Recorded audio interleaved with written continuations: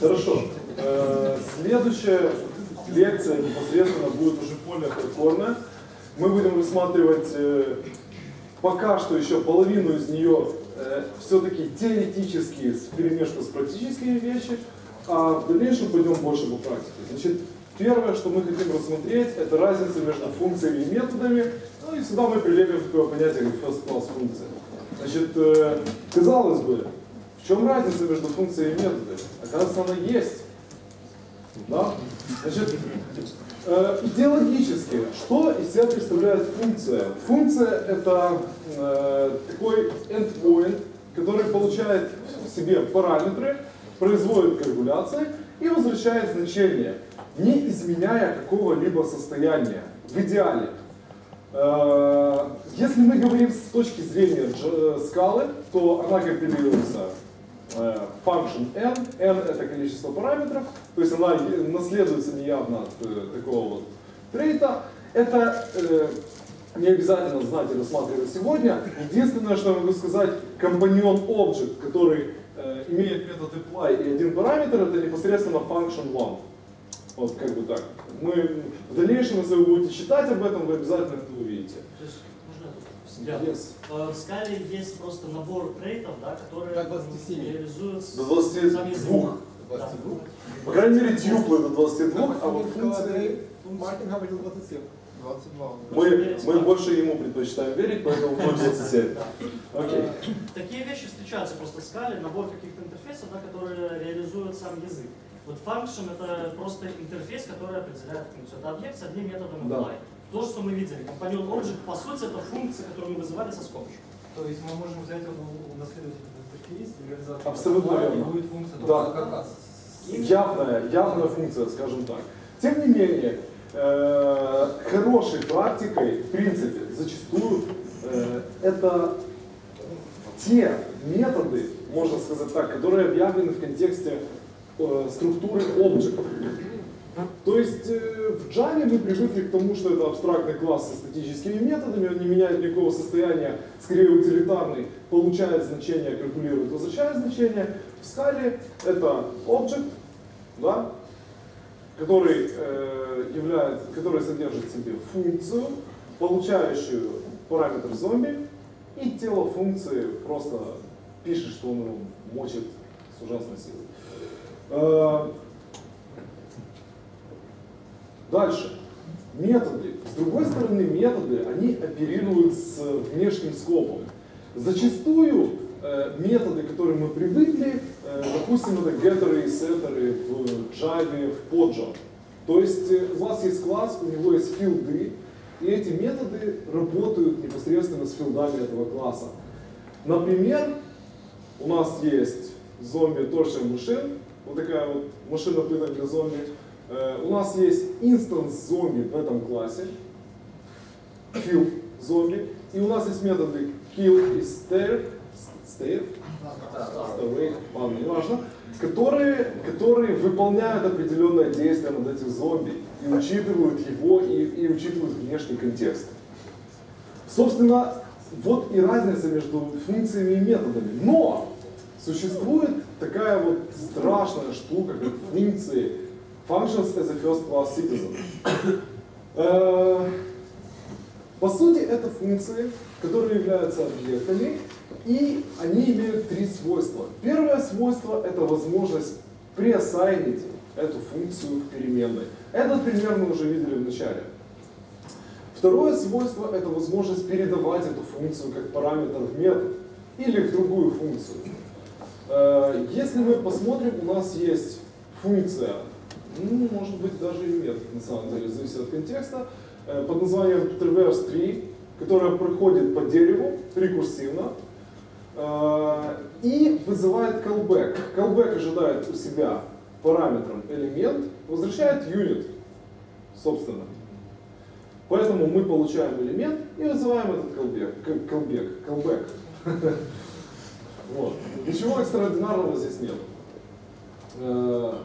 Э, э, и, кстати, обратите внимание, с точки зрения Java, этот callback это обычный э, абстрактный класс или интерфейс, и мы используем его, допустим, в свинге как анонимная реализация, анонимный, анонимный, анонимный инстанс, анонимный класс.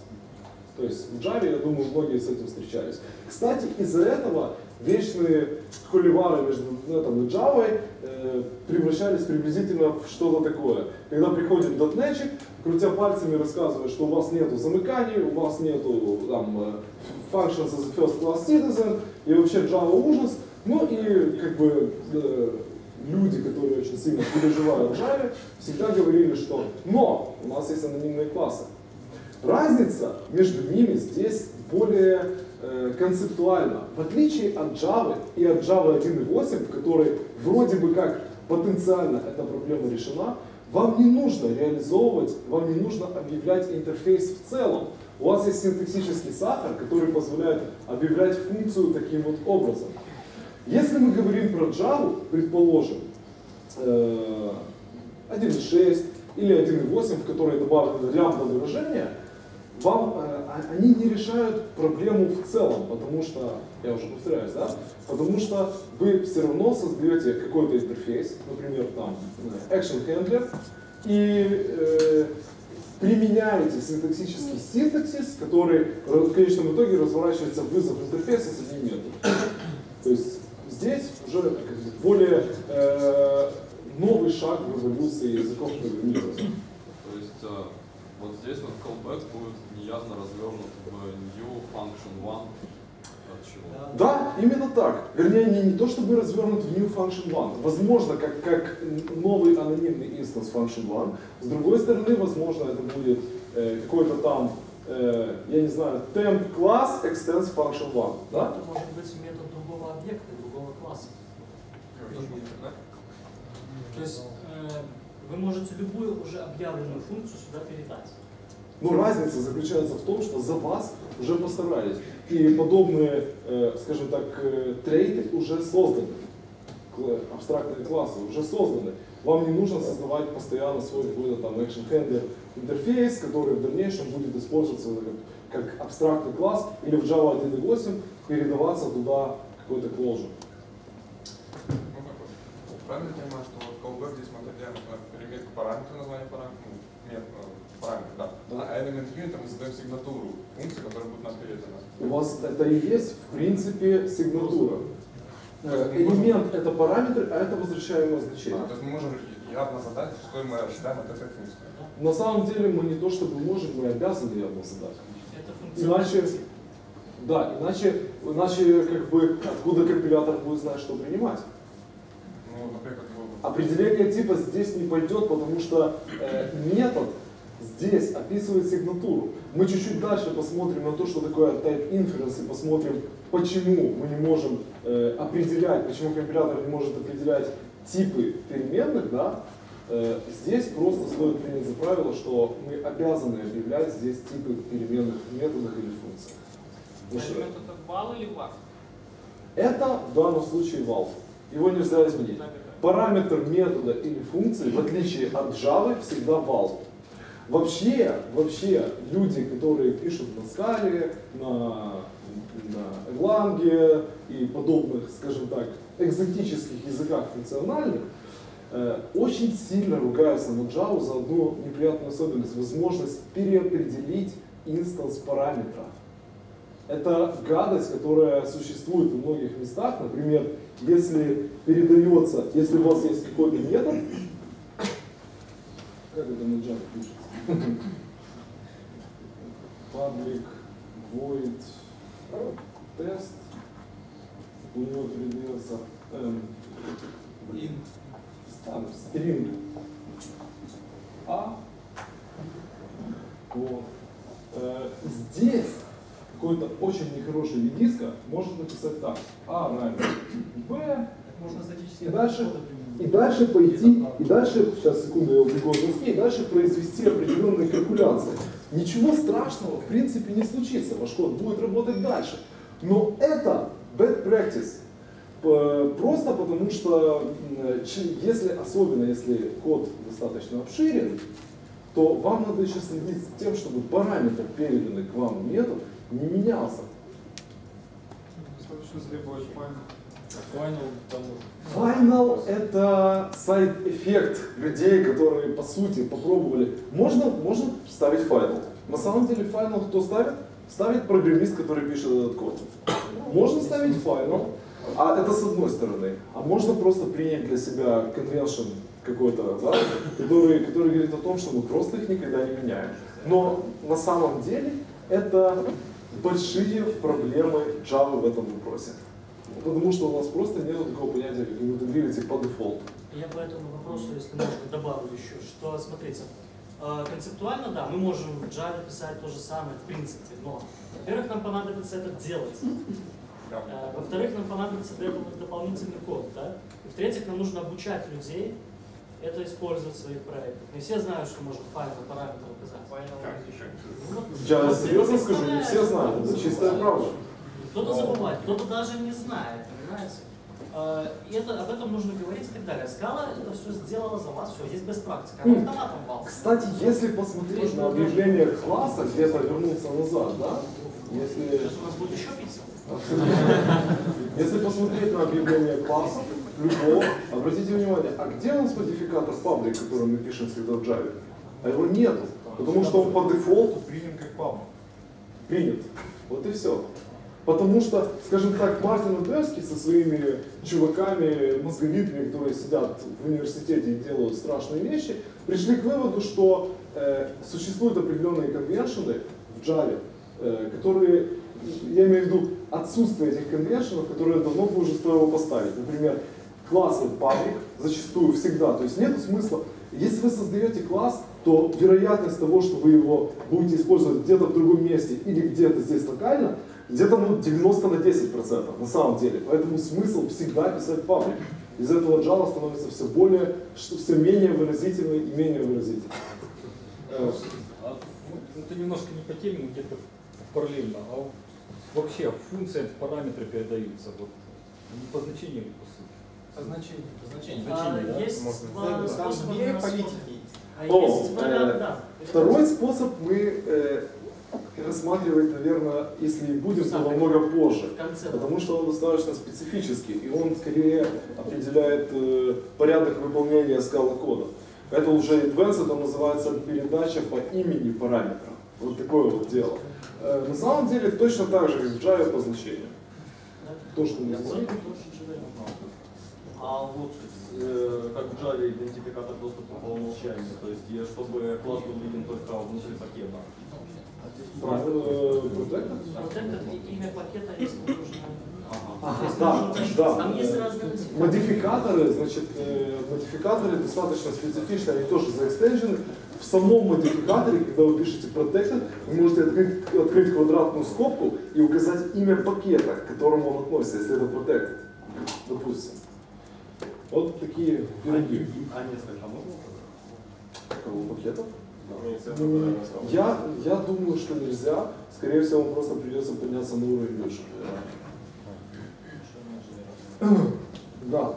Э, Значит, третий, э, третья характеристика functions as a first class citizen, ужастик, который мы видим здесь, на самом деле это возможность возвращать функцию как результат работы другой функции. Что, что происходит здесь? Здесь под- происходит подготовка ленивого калькулятора. Вот так вот это звучит. Значит, э, э, метод prepare calculator принимает x и y, два значения. Здесь описано, что он возвращает функцию, не принимающую ни одного параметра, и возвращает integer, это функция. Здесь мы пишем, что мы подготавливаем, почему calculator? Здесь должен быть prepare calculator, sorry, это у нас меж так прошел неудачно. Да. Э, Кстати, мы пользуемся гитом на самом деле, серьезно. На всякий случай. Вот. И что, что происходит здесь? Мы объявляем, опять-таки, обычную э, анонимную функцию, которая действительно принимает пустые значения, которая принимает пусто и использует x и y из внешнего контекста, вы видите? Не при- Не совсем. Это еще не корректно. Это, это, это не качество. Анонимная функция юнит это не одно и то же? Юнит это нет, нет. Короче, короче говоря, в конечном итоге мы получили x и y из внешнего контекста здесь. Поэтому, э, поэтому возвращенная функция вот эта вот может быть спокойно использована несколько раз в дальнейшем. Короче, суть в том, что мы вернули подготовленную анонимную функцию как результат работы другой функции. Но Вот и эти x и y, извините, что перебиваю, они- для чего это, э, я извиняюсь, для чего это может быть использовано на самом деле на практике? И для чего мы действительно используем? Существует, э, предположим, вам надо подготовить э, какую-то функцию, да, которая получает определенные значения, вытягивает огромное количество данных из базы данных, там, username, там, я не знаю, user object, там, какой-то там load list, еще что-то, и имея это уже, выполняется миллион раз. Если это обычная функция, которая делает это каждый раз, да, то само собой это будет медленно. Мы можем решить это разными путями. Мы можем создать класс, в котором проинициализированы два этих филда, и потом будет выполняться какая-то функция калькуляции, там, или дальний юзера, там, или дальний список э, лодов относительно этого юзера, или сделать это здесь. Вызываем prepare calculator, который здесь получает из базы юзера, получает список лодов и возвращает калькулятор, который использует два эти инстанса. Соответственно, вызов этой анонимной функции в дальнейшем не триггерит получение юзера и остальных данных из базы данных. Поэтому у вас функция подготовленная, которая будет работать быстро. Вся фаза инициализации пройдена, и она использует уже проинициализированный объект. Параметры сохраняются. Параметры эти будут сохраняться до ими собранные garbage коллектором до того момента, и, и только в том случае, пока эта, эта функция их использует. Если она их не использует, они будут выкинуты после выхода из этого метода. В принципе. Ну их может, э, x и y можно поменять, получается, и просто будет с другими значениями. Пере- по- поменять где? А, Вы что, ребята, это, э, мы говорили уже не раз, mutability. Вы ничего не поменяете. Не, вызвать можно и заново пересчитать. Если можно и заново пересчитать. Вы можете вызвать эту функцию еще раз и получить уже другой инстанс анонимной функции. Но тем не менее, это, вот этот пример, это третья характеристика functions as a first class citizen. То есть э, э, функции можно применить, применить к переменной, можно передать как параметр, и можно возвратить как результат выполнения другой функции. А.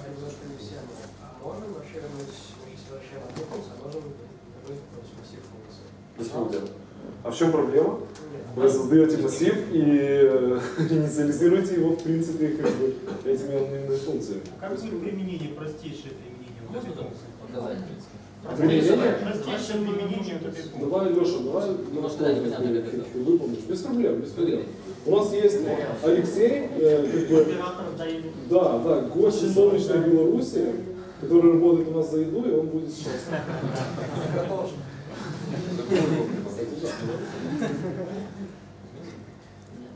У нас в Беларуси, кроме Минска, есть города.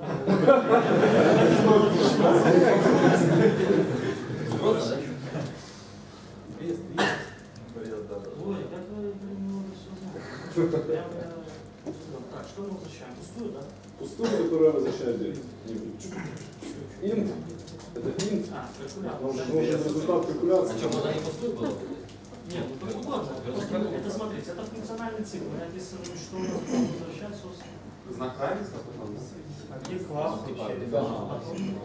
Равно это то, Что что... дальше описание? Я работаю сейчас в воркшите. Грубо говоря, это оболочка, которая уже создает объект, который будет выполняться. То есть интерпретатор. Это, это интерпретатор, на самом деле, э, эмуляция интерпретатора, назовем это тоже так. Shell и э, в файлах синтезиса одинаковые, правильно? Да, абсолютно верно. Скажи, да. Э, Очень важно. Возвращаем. собственно, экскурсии. Да? Теперь давай покажем второй закон анонимных функций. Никогда не говорите. Так вы же еще не компилируете. Кстати, обратите внимание, она действительно не вызвалась. Мы увидели только, что э, он скомпилировал и как бы у себя в, в контексте создал эту функцию за такими вот параметрами. И он последнее значение, которое... Он ничего сейчас не вернул, потому что она не вызвалась. Давай. Он сделал вот этой функции, тут Это получается все в одном как бы классе сделано, да? Это, сейчас это shell. На самом деле в продакшене вы не будете иметь э, этого применения, он не, не имеет применения в продакшене. Сейчас, секунду, Леша, его же надо вызвать еще как бы. Так, сейчас я, давай посмотрим. А, Да, у нас, у нас произошла фаза при, препарации, у нас произошел препаринг, вот, но пока что ни- никакой препарации не произошло. Да, мы не вызвали. Обратите внимание, что Создатель. э, он пишет, что у нас есть функция типа скобочки и стрелочка int, да, и это function 0. То есть Потому что параметров не передано. Да. Никаких.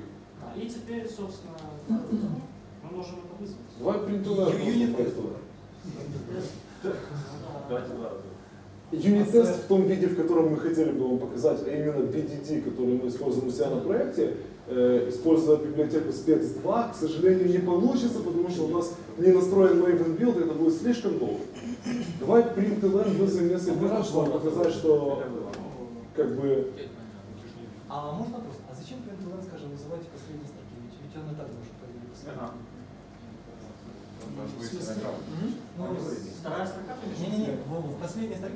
Если мы используем shell, то, конечно, результат evaluation он покажет, но, скажем так, для большей наглядности и для стандартизации мы используем. А если мы шестую строчку еще раз написали, факт второй раз задефайнили, было function тебя, 1, да, уже? э, нет, почему? Это было бы function 0 в том, же, в том же случае, потому что 0 это количество аргументов. Просто мы бы получили два инстанса калькулятора, два инстанса этой функции. А можно файл при вызове передать другие методы? Дайте два. а Смотрите. Конечно. Ну вот Сейчас- строке 8, нет, ну, смотрите, при вызове, да. функции FiveTo, да, мы ожидаем вот этот функциональный цикл. То есть пустую, пустые параметры, которые возвращают input. Ну, а мы можем, а мы можем, мы сделать еще. Мы можем сделать, допустим, добавить мультиплайер. Потому что здесь э, имя параметра передавать да. не надо. Э, чисто описание типа. Ага. Да. Вот так, мы можем, собственно, задать. Подожди. И здесь теперь, теперь нужно написать Z1. Ну или добавить еще. Получается. Теперь, собственно, мы добавляем. Покажи полное объявление функции непосредственно наверху. Теперь это будет function 1, потому что он принимает один параметр под названием int. А сзади сказали, что это уникально. Можно спросить, чем вот это отличается от карьеры? Как это? Э, процесс. Очень похоже на коррелирование. не совсем так. Там, к сожалению, Кари- Карирование, он создает анонимную функцию. Просто в данном случае нужно явно указать, какой параметр нам нужно, э, какой параметр мы указываем, а какой карируем. Это более advanced scope мы решили, к сожалению, не указывать, не, не включать есть, то есть, по сути, это вот это плюс замыкание, да? Мы потом после лекции покажем на пальцах. Для того, чтобы не для того, чтобы не путать остальных людей. Тут смотрите, если абстрактно это посмотреть, да, вот это наша calculator функция, это функциональная фабрика. Да, я- понимаю. Оно же реализуется через Skype. Оно немножко разное. Да. Вот. Алло? Не алло? Не алло. О! Я iPod. Вот это вот. Так вот, Type Inference – это та вещь, которую мы не раз рассматривали и на миллион вопросов, в принципе, уже отвечали, но мы поговорим про это чуть более э, детально.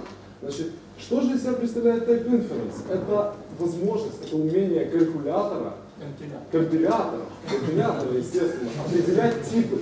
Значит, мы можем опускать типы в объявлениях с левой стороны. Когда мы пишем val, имя переменной равно string, нам не обязательно слева в имени переменной указывать, что тип string, потому что компилятор может однозначно определить, что с левой стороны является string. Это ведет к намного меньшему количеству классания по, по кнопочкам. Вот. Само собой, надо меньше читать. Ну и программисты становятся более счастливыми. Э, пример type inference с переменными Можно еще уточнение? Еще одно преимущество в том, что если мы э, делаем рефакторинг где-то внизу, то у нас это как бы, Да, я как раз об этом говорил, кстати, в прошлом. Вот. Он, он, он упрощает, потому что во время рефакторинга, если меняются возвращаемые значения, и мы везде инферили type, то есть мы не указывали его явно, то он автоматом будет э, во всех методах сверху, которые вызывали и возвращали то же значение, прокидываться. То есть э, рефакторить придется намного меньше кода. Можно вопрос? не будет, что там? Нет. Э, компилятор ругнется, если появится сайд Обязательно. Ребята, можно вопрос по поводу type Сейчас, секунду. Да. А, Если мы рассматриваем отдельный файл, который ссылается на какие-то другие модули, то если компилятор не пропарсит те модули, мы не сможем однозначно сказать, какого типа у нас там переменные э, ну, получаются этому, Мы так? э, не согласны. Почему? Потому что с правой стороны у нас тип из тех модулей. Если не пропарсится, то тип будет неизвестен с правой стороны. То есть однозначно должна пройти компиляция всей этой Конечно, войны. конечно. Просто вот так идеешка мне не сможет сказать, что чувак, ну, Может. Идеешка сможет... э, но ей зависеть- нужно э, иметь А- какие-то а мы кэши. про от идеешки каких- говорим. Про А, идеи а, или то единственной. Про единственное обязательно скажешь. Что это? На самом деле я пользовался некоторое время для World э, веб-проектиков очень неплохо. Понятно, но чисто технически не почитаешь. Э, Но, вот, пожалуйста, с другой стороны определение с явным указанием типа. Так как, опять-таки, еще раз, так как справа у нас явно известно, что это int или что это string, мы можем опустить эти объявления. Кстати, Java 1.8 приносит супер type inference в коллекции, если кто-то видел, 1.7, да? 1.7. Возможность с правой стороны дженерик опускать. Это аплодируйте стоя все. А кто перешел на 1.7? Ну, Да-да. Вот ноль в данном случае будет, э, может быть, шортом, там. Это. Ну, В данном, какой тип будет? в данном случае это int, потому что он не имеет у себя никаких decimal э, А почему не шорт? А, Есть, смотрите, есть да? У каждого типа есть литералы. Ну, я понял. Что, что, Да, лог, типа? Да, конечно, конечно. Вот, значит, э, помимо всего прочего, мы видели уже такой тип type inference по возвращаемым значениям. То есть, если мы знаем, что у нас есть функция, принимающая а и б, да, кстати, Это тут э, пример. пример, а? Это пример про то, что в параметрах нужно обязательно указывать.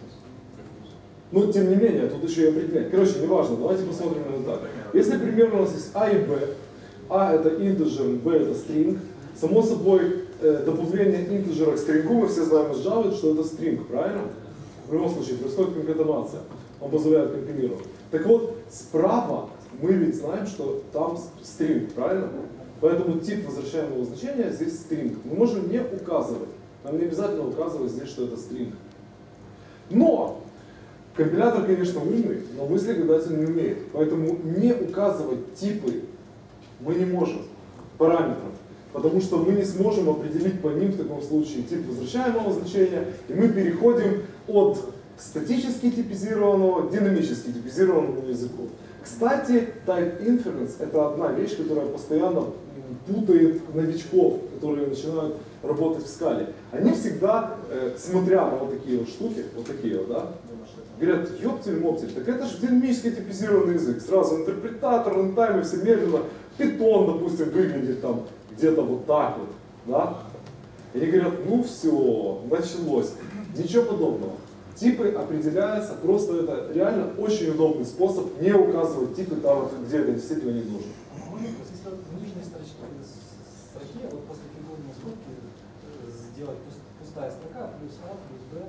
То есть в этом случае он разрулит. Да, компилятор. Конечно. И все скопишь. То есть Абсолютно. без- без- Ведь мы, без какая, обязательного если, если параметры указаны, типы параметров, независимо от того, сколько у нас там выражений, Нет, я виду, если невозможно из скобку вывести тип. Скажем, у нас, у нас скажем, будет пустая строка плюс А. Плюс То есть превратить это все в стрим. Нет, э, к сожалению, нет, потому что, обратите внимание, когда вы делаете int плюс string, то оно, вот эта конкатенация возможна неявному знанию компилятора, что int можно, по int можно вызвать toString и ск- сконкатенировать эти два стринга. С другой стороны, здесь мы не знаем, что по А можно вызвать toString, потому что не знаем, что такое А. И мы не знаем, что мы можем А сконкатенировать со стрингом, правильно? Если мы знаем тип, то компилятор знает, что с ним У делать. нас получается фигура на скобках, если мы первым параметром. Это не решит проблему. А, Это, это решит проблему А если возвращаемого цикла, но это не решит проблему параметров. Секундочку, секундочку, еще раз. Только второй параметр Нет. стринг, то есть Нет. конкурируется первый непонятно. Нет. В любом случае, в любом случае мы всегда должны указывать типы параметров. А если указать тип выражаемого значения явно? Сейчас, одну секунду. Давай. Значит, Тут должна быть математическая Если явно указать доказуемости. в примере тип возвращаемого значения, Если мы указали, избавит от необходимости. Явно указать тип возвращаемого значения? Нет. Ребята, давайте по-другому. Можно задать кучу вариаций, на самом деле, вопросов, если то или то. Скажем по-другому. Есть аксиома. Мы обязаны задавать типы возвращаемых значений. Или типы параметров. Вот так вот. Что-что? или, или, вот как сказали, и- Нет, и- не, не или. Мы ф- типы параметров, параметризировать. обяз- обязаны задавать. Если мы уж хотим прямо всех, Нет, но если хотите, я могу вам немножко это тоже более абстрактно рассказать. Компилятору нужно математически доказывать, да, что э, в вашем типе есть, например, какой-то метод. То есть вот пример был, можем ли мы, например, использовать там какой-то тип, да, не указывать тип, но использовать внутри toString, он типа есть у всех объектов, и компилятор же должен это знать. На самом деле нет гарантии, что у вас в объекте будет toString. Он может быть от any наследоваться, а у того нет.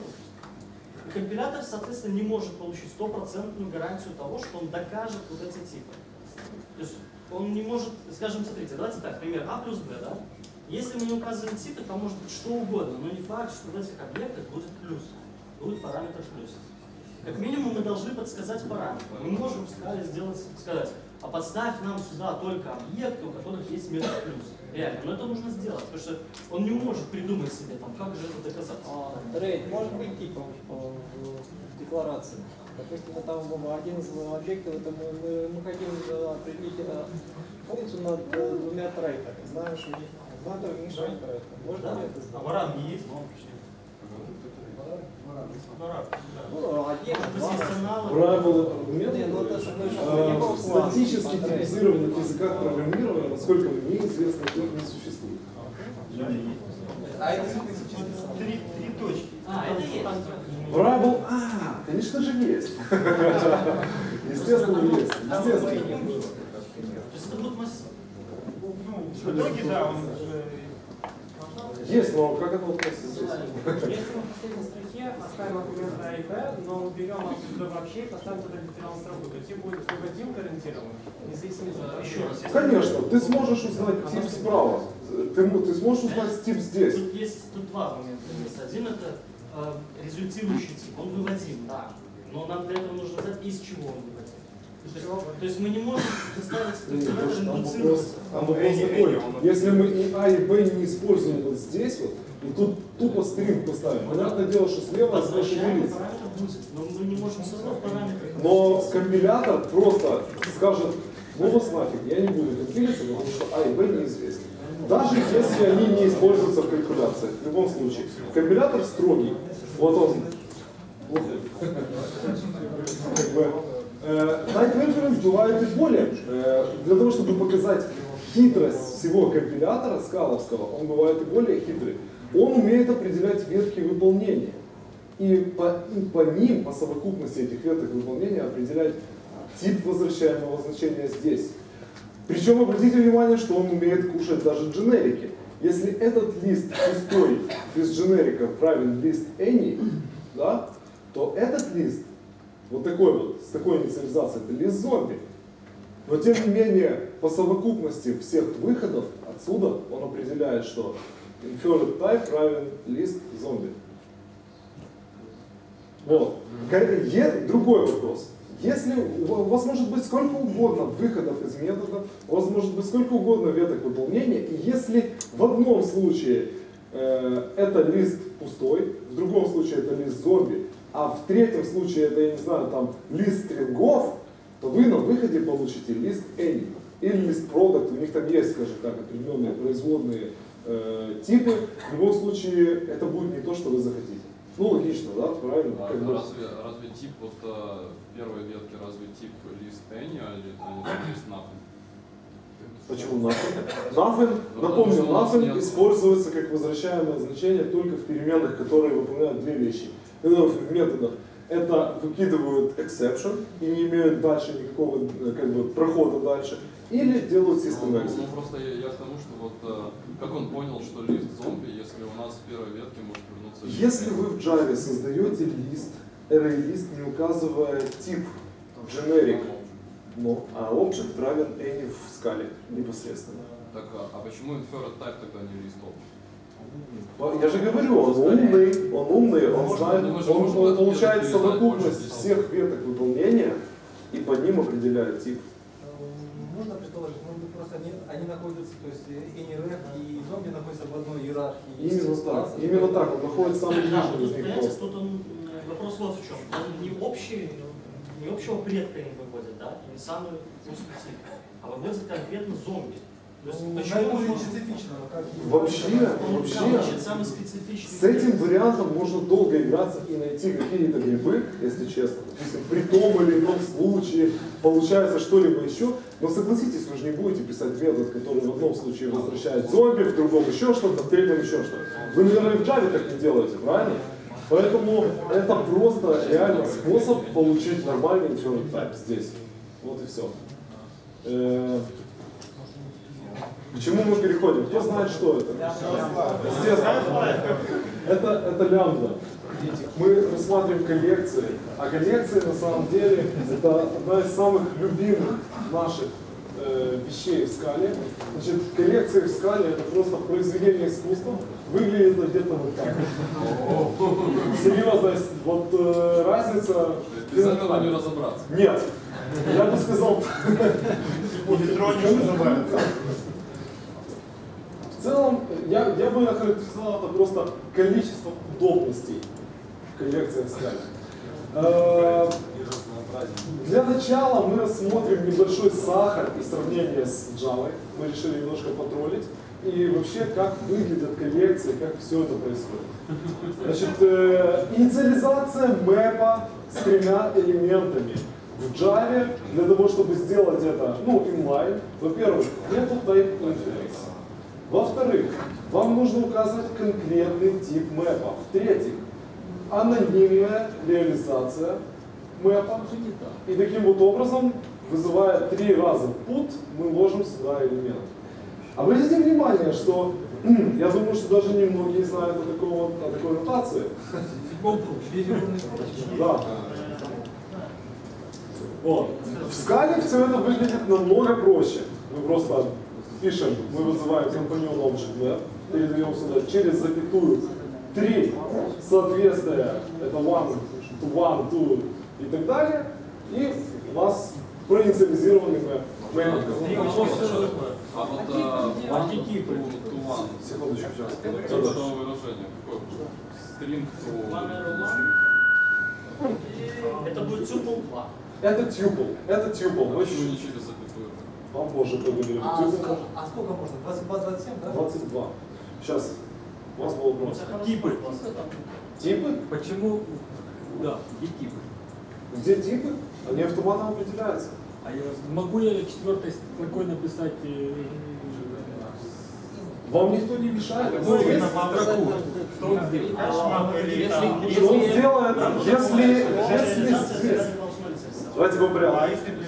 интересно? Тогда Если, секундочку, сейчас по порядку. Если здесь в четвертом указать вместо интеджера string, то будет черт знает что.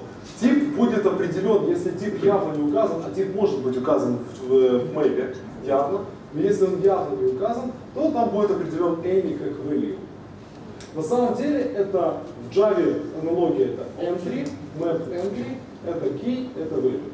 Собственно говоря, так. Еще раз. А, почему это мапа? Какая это будет мапа? Это какая Какая это будет- мапы? какая это будет мапа? Мне нужно три мапы, например. Расскажу. Значит, если э, вам нужна конкретная реализация 3D, да, то вы э, находите правильный пэкэдж Scala Collections Immutable .3map и пишете new 3map. В данном случае мы используем компаньон Object как раз для тех целей, чтобы Scala сама определила, какая реализация мэпа нам нужна. Не забывайте о том, что это immutable коллекция. Изменения особые в ней не, не, не подразумеваются сейчас, поэтому он возьмет максимально подходящий под, под параметры суда максимально подходящую реализацию. Вы всегда можете указать яму, на самом деле. А такой вопрос давай задал.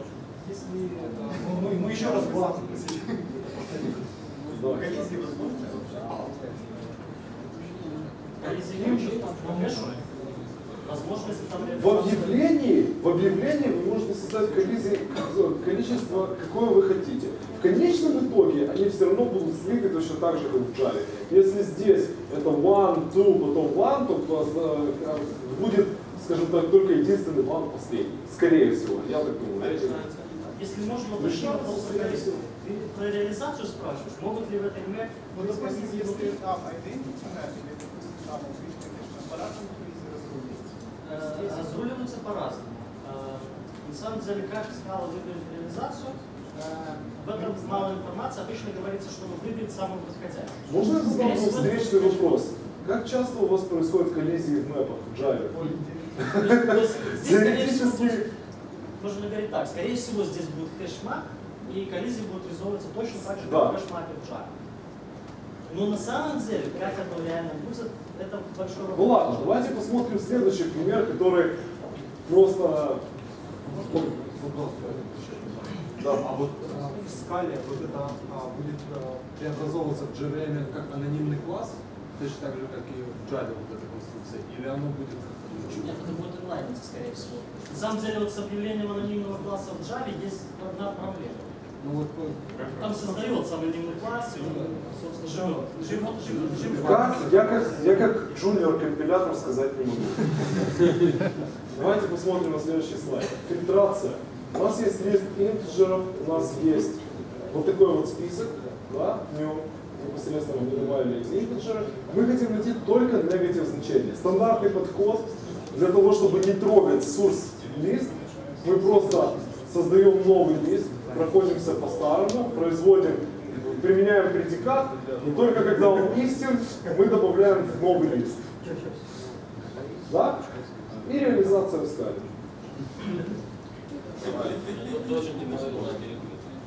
Красиво. Естественно, обратите внимание. Вопрос, вопрос, вопрос.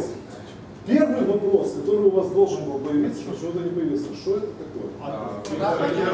Это, это, это называется underscore. Underscore, да, как ни странно, недавно Филипс подсказывает, это шорткат для текущего элемента. Он только один, на самом деле. Можно, можно немного уточнить? Вот, а, вот на самом деле вот эта вот функция фильтр, она принимает там Closure. closure от там одного элемента, который возвращает closure. Именно. Именно. И вот э, шорткат это именно вот этот вот элемент. Шорткат это ш- на каждой из итераций будет шорткат, шорткат будет 1, 2, минус 55 и так далее. Смотрите еще, почему вопрос, вопрос появляется, почему это удобно? Потому что вы концентрируетесь только на бизнес-логике. Зачем вам делать это? Это делается отовсюду, каждый божий раз. Существует в Java такая штука, как Guava, которая пытается это решить. Но Java все равно слишком выразителен, э, невыразителен. Поэтому даже использование Guava требует использования анонимных классов, реализации всякой гадости, которая все равно делает monster код. Здесь же простейшая задача, не требующая никаких больше Даже реально не нужно спрашивать, что делает underscore, потому что это просто читается. Это ожидаемо. Никто и не спросил. Поэтому Я- не спросил. Я вам хочу еще такое сделать замечание тоже.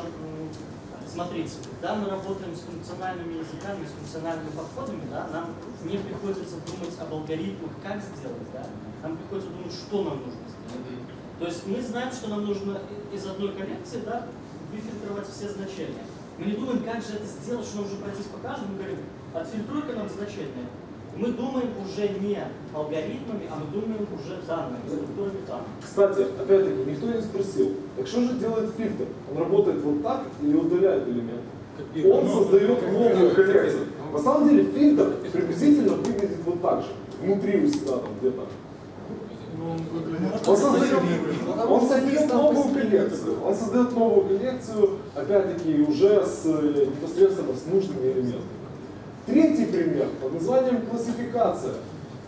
Классификация по предикату.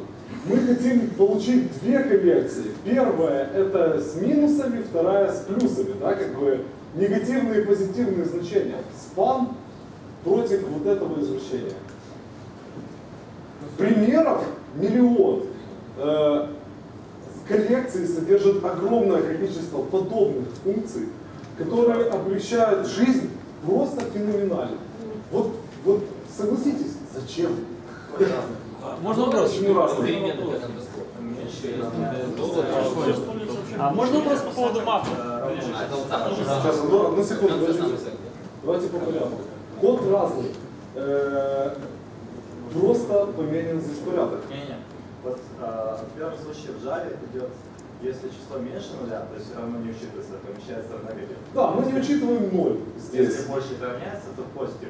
В скале делается, если больше нуля, то без равняется. Это скаловая чудо. Обратите внимание, в скале, кстати, спам требует э, э, позитивный, короче, э, как же это сказать, Э, э, истинное значение предиката будет добавляться в коллекцию слева. Сложный предикат. Какой угодно. Все ограничен вашим, вашим воображением. Что может быть еще там. То есть это, Это функция, фактически функция, да. По сути, это функция. Вот здесь внутри функция, которая, которая работает, которая срабатывает для каждого вызова, для, для каждого элемента в коллекции. Она должна зависеть от типа, получается, да? Это вопрос по поводу мапы. Вот эта вот функция внутри, он должен от типа зависеть.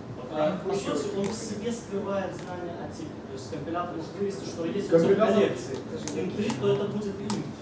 Соответственно, Если писать функцию, то Сейчас, функция сейчас. должна быть соответствовать. Ваш вопрос.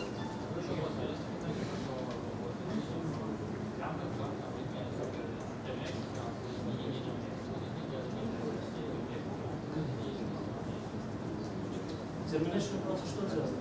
Я вот не знаком с этим понятием.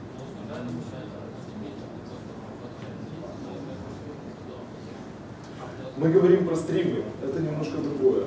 Существуют стримы, э, в скале действительно существует понятие стримов, которое разделяется на генератор, на предикат, с терминейтом или без терминейта и непосредственно на action. Немножко out of scope, возможно, мы рассмотрим непосредственно поддержку стримов ближе уже к концу в э, сахаре. Это, да, секунду, вот сюда сначала. А, Можно это? Да, да. Вопрос по поводу мапы, просто никак не могу пробиться через весь поток вопросов. А, вот, ну, там были везде примеры с, ну, с простыми типами, то есть, например, я хочу некий объект или ключа, то есть какие ограничения, ну, типа как equal Никаких. код, то есть. Никаких Ну, вот если, например, хочу Кейс-класс, кстати, case-класс, используемый в виде ключа, замечательный пример. И у него автоматически прописана equality, которая производит полное, полный equals да, по всем элементам сравнения. Собственно, ограничения такие же, как в Java, а именно никаких. Я имею в виду, что, что я хочу переопределить понятие там хэш-кода, да, то есть и equality для объекта. то есть- Equals и хэш-код – это тема, которую мы будем рассматривать уже позже в конце. Просто как это реализовано. Скажите- Сейчас, секундочку. Вот этот синтаксис с э, андерскором, да, это по сути объявление замыкания, которое тоже тащит в себя контекст. Ну, не совсем. Это скорее это объявление чистой функции, Это которая, функция. Мы которая будет проходить внутри, которая будет внутри в итераторе вызываться для каждого значения. Да, это, Можно кстати, это не, это не замыкание, это лямбда. Он только работает со своими... значения, можно выдал замыканием, использовать значение откуда там. Нет, если мы, если мы с внешнего Ну, где-то, если мы с внешнего где-то будем использовать переменные здесь, он станет замыканием. Ага. Но в данном случае вот этот конкретный пример это лямбда, а не замыкание. Получается нет. Скажите, а добавление и удаление из этой коллекции, если это... Добавление и удаление из коллекции мы рассмотрим сейчас чуть-чуть попозже. Мы сейчас как раз на это выйдем. Давайте, давайте пройдем дальше. Перед тем, как, под- как- как продвигаться, мы рассмотрим понятие как тюплов. Для чего нужны тюплы? Возможно, кто-то из вас уже сталкивался с неприятной особенностью в Java, когда вам надо э, из метода возвратить ID и username. У вас есть просто класс, здоровенный юзер с тонами там permission и всем остальным, вам надо просто вернуть ID и username. Это конкретика, просто маленький private метод в вашем, вашей сумасшедшей зверской бизнес-логике, инкапсулирован где-то внутри, создавать кл- класс под названием э, user ID там, или ID username или еще что-то, допустим, не имеет смысла, потому что область применения будет очень узкая. Здесь вот только маленькая. Может быть, кто-то даже создавал класс key value. Вот. Или, или map entry, но map entry это извращение использовать в других, на самом деле, вне, вне контекста как по мне. Ну, это не важно.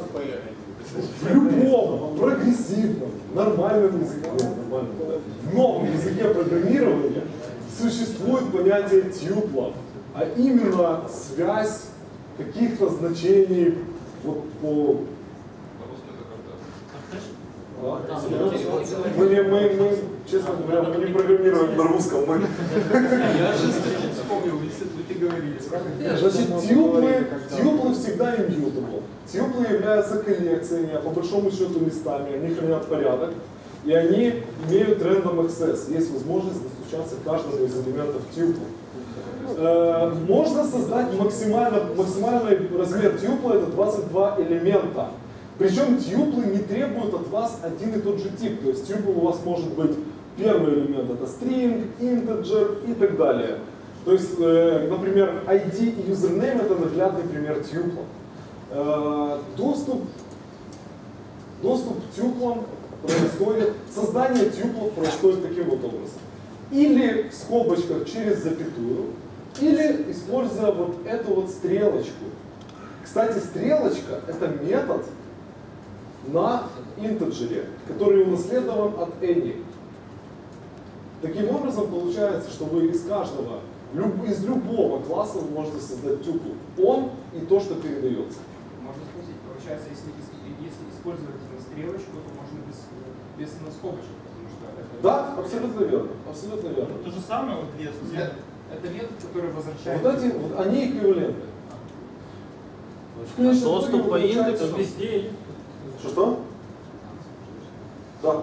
Доступ идет по индексу, получается, Да, именно а так. соответствует, ну, вот я, допустим, добавил первый, второй, третий, также Да. он положится. Абсолютно верно. 100% гарантирован. Да, абсолютно верно. А начинается с нуля или с единицы? С единицы. Так вот, э, смотрите, результат будет tuple 2 с типами int и string. Если 3, то это будет tuple 3 и соответственно. Доступ к его элементам выглядит так. Println pair, нижнее подчеркивание 1, нижнее подчеркивание 2. Нижнее подчеркивание 1 индекс, нижнее подчеркивание 2 string. Соответственно, мэпы, секундочку, мэпы работают на тюплах в скале. И что самое интересное еще, мэп, например, лист тюплов, да, можно рассматривать как одинаковую структуру, они конвертируются друг к другу. То есть у них есть методы to map to list. Если у мэпа мы вызываем to list, мы получаем list tuple. Просто. А это типизация как? Типизация там int string, а там string int, я могу как мапу же не могу запихнуть. Ну, Почему? Типизация в мапу можно запихнуть, пожалуйста. Просто мапа чего у вас будет, это уже другой вопрос. Это будет просто мапа объектов объектов в Java, грубо говоря, вот и все. А простите, в Скале я правильно понял, что нижнее подчеркивание часть? Нет, мы рассмотрим вообще... Нижнее подчеркивание в данном случае это placeholder. В данном случае это, как по мне, не особо удачная идея. Я, честно говоря, я как при- приверженец camel кейса не люблю нижние подчеркивания в Java и везде, Нижнее подчеркивание это просто чтобы э, именно обойти стандартное ограничение всех языков программирования в том, что э, имя переменной или метода не может начинаться с цифры. Вот и все. К- Отличный, отличный момент, кстати. Что- а, а у нас же есть метод звездочка, есть метод плюс. В Java тоже нельзя так начать. С цифры нельзя начинать имя метода в любом случае. Но, но э, что еще? Из- на тему, небо- небольшая оговорочка на тему best prac- practices. Тюплы не всегда стоит, э, короче, тюплы не панацея, и иногда они приводят к проблемам с читаемостью кода. Почему? Потому что, когда вы весь код пишете из разряда А, нижнее подчеркивание 1 равно Б, нижнее подчеркивание 2 и так далее, это в конечном итоге начинает выносить мозг. Первоначально мы использовали тюплы таким образом, но потом мы сделали огромный рефакторинг, переделав полностью все эти вызовы. Как вы... Стоит ли показывать? Давайте потом покажем все-таки. На тему использования Да, смотрите, вот этот подход, когда мы пишем конкретный индекс, да, это императивный. Нам нужен там каких-то алгоритмов, которые точно знают, как там с индексами работать. Но есть способ раскрыть тюпл по-другому. Да, есть моменты с раскрытием тюпла, это, Это уже ближе к тоже нашему. отдельная тема, но мы все равно рассмотрим их чуть-чуть позже. Именовать нельзя там? А, Именовать можно, мы это увидим. Мы это все увидим. Мы это все увидим. Мы перейдем на семантический сахар в самом конце. Так вот, начинаем. Подход к коллекциям. Коллекции, как мы видим, существуют immutable, вот, immutable, да? Значит, возможно, кто-то кто из вас использовал Advanced Concurrency в Java и слышал о такой штуке, как Copy on Write коллекции. Значит, э, их идея заключается в том, что при записи в коллекцию возвращается полная копия той коллекции плюс, плюс элемент. Происходит копирование, и эта операция достаточно длительна и ресурсоемка. Э, Когда мы говорим про то, что мы добавляем в immutable коллекцию в скале элемент, на самом деле мы тоже говорим о возвращении копии коллекции. Но копия коллекции происходит, в скале выглядит немножко по-другому. Все коллекции, может быть это можно так назвать, они рекурсивны. Страшно звучит, выглядит интересно. Значит, э, к- блин, нет, у меня слайдер, это что, очень жаль, кстати. Мы тогда нарисуем. Значит, э, если мы рассмотрим пример списка листа, да, то лист сам по себе всегда состоит из двух филдов. Это head с типом и tail, который, секундочку, секундочку, который ссылается на лист, опс, лист с типом предыдущий. Можно его назвать linked листом, хотя я бы не говорил так, честно говоря, но допустим. Предположим, это linked лист. Когда вы, проходите, когда вы работаете с ним, вы работаете с ним не как с рекурсивной коллекцией, а как с обычной коллекцией на самом деле. Scala API позволяет, она абстрагирует нас от всего этого, поэтому э, если вы производите, проход по нему, получается обычный итератор, который внутри-то идет рекурсивно, но вы идете по, по флет коллекции. Когда происходит добавление в коллекцию, у нас есть коллекция это, в которой элемент, например, единичка, а здесь 2, 3. Мы хотим добавить в начало 0. Мы делаем, мы вызываем у листа метод add определенный, вы увидите, как это выглядит на самом деле специфически. Что происходит? Создается новый инстанс листа поверх. Вот этот лист ложится в tail, а элемент, который мы добавляем, в head. Это вопрос с random access. С random access? Да, в таком случае. Есть несколько реализаций просто листов, и у них разный доступ. Один, один это, это на самом деле это просто один из примеров для того, чтобы понять, я э, random access здесь будет естественно медленнее, потому что он, он, ведет себя как linked list. Я хочу показать то, что это не приводит к перформанс декризу, в отличие от copy on write коллекции. это приводит к определенному memory overhead, естественно, потому что linked list имеет определенный mem- memory overhead, и такой лист имеет memory overhead. Для того, чтобы избавиться от memory overhead, и для того, чтобы, скажем так, использовать свои привычки еще, которые вы не потеряли из Java, существуют э, mutable коллекции, которые работают как обычные коллекции в Java, то есть э, мэпы, листы, сеты и так далее. Вы можете просто туда добавлять, можете изменять их состояние. Мы их рассматривать не будем по двум причинам. Потому что, во-первых, это гадость. Вот. А во-вторых, потому что вы и так знаете, как они работают из Java. Э, Кстати, кстати, есть определенный, определенный момент. Все интерфейсы, и все коллекции, все интерфейсы и так далее полностью переделаны. От Java не осталось ничего.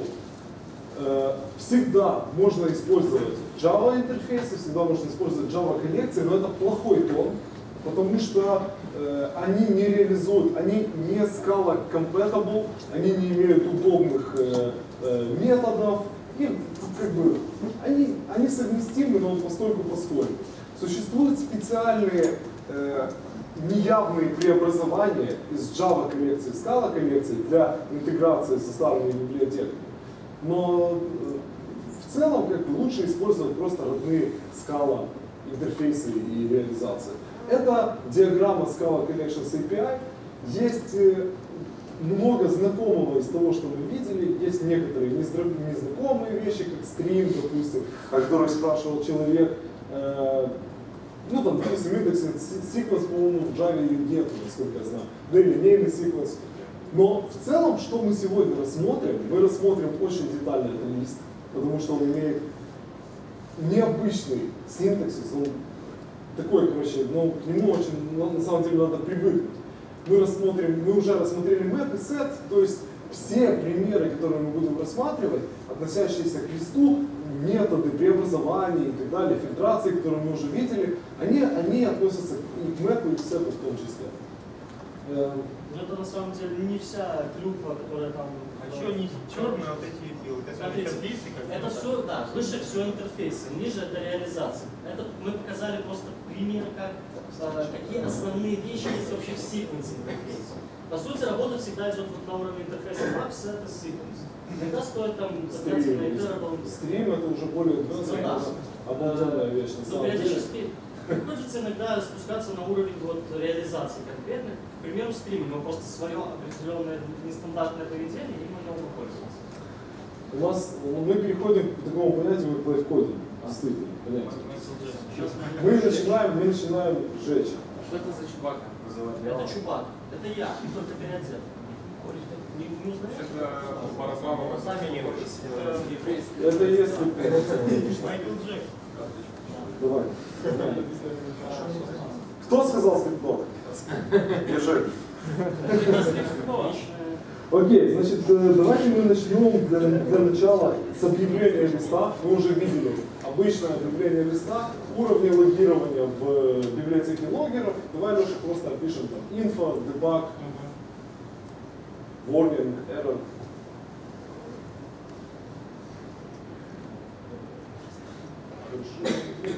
А не.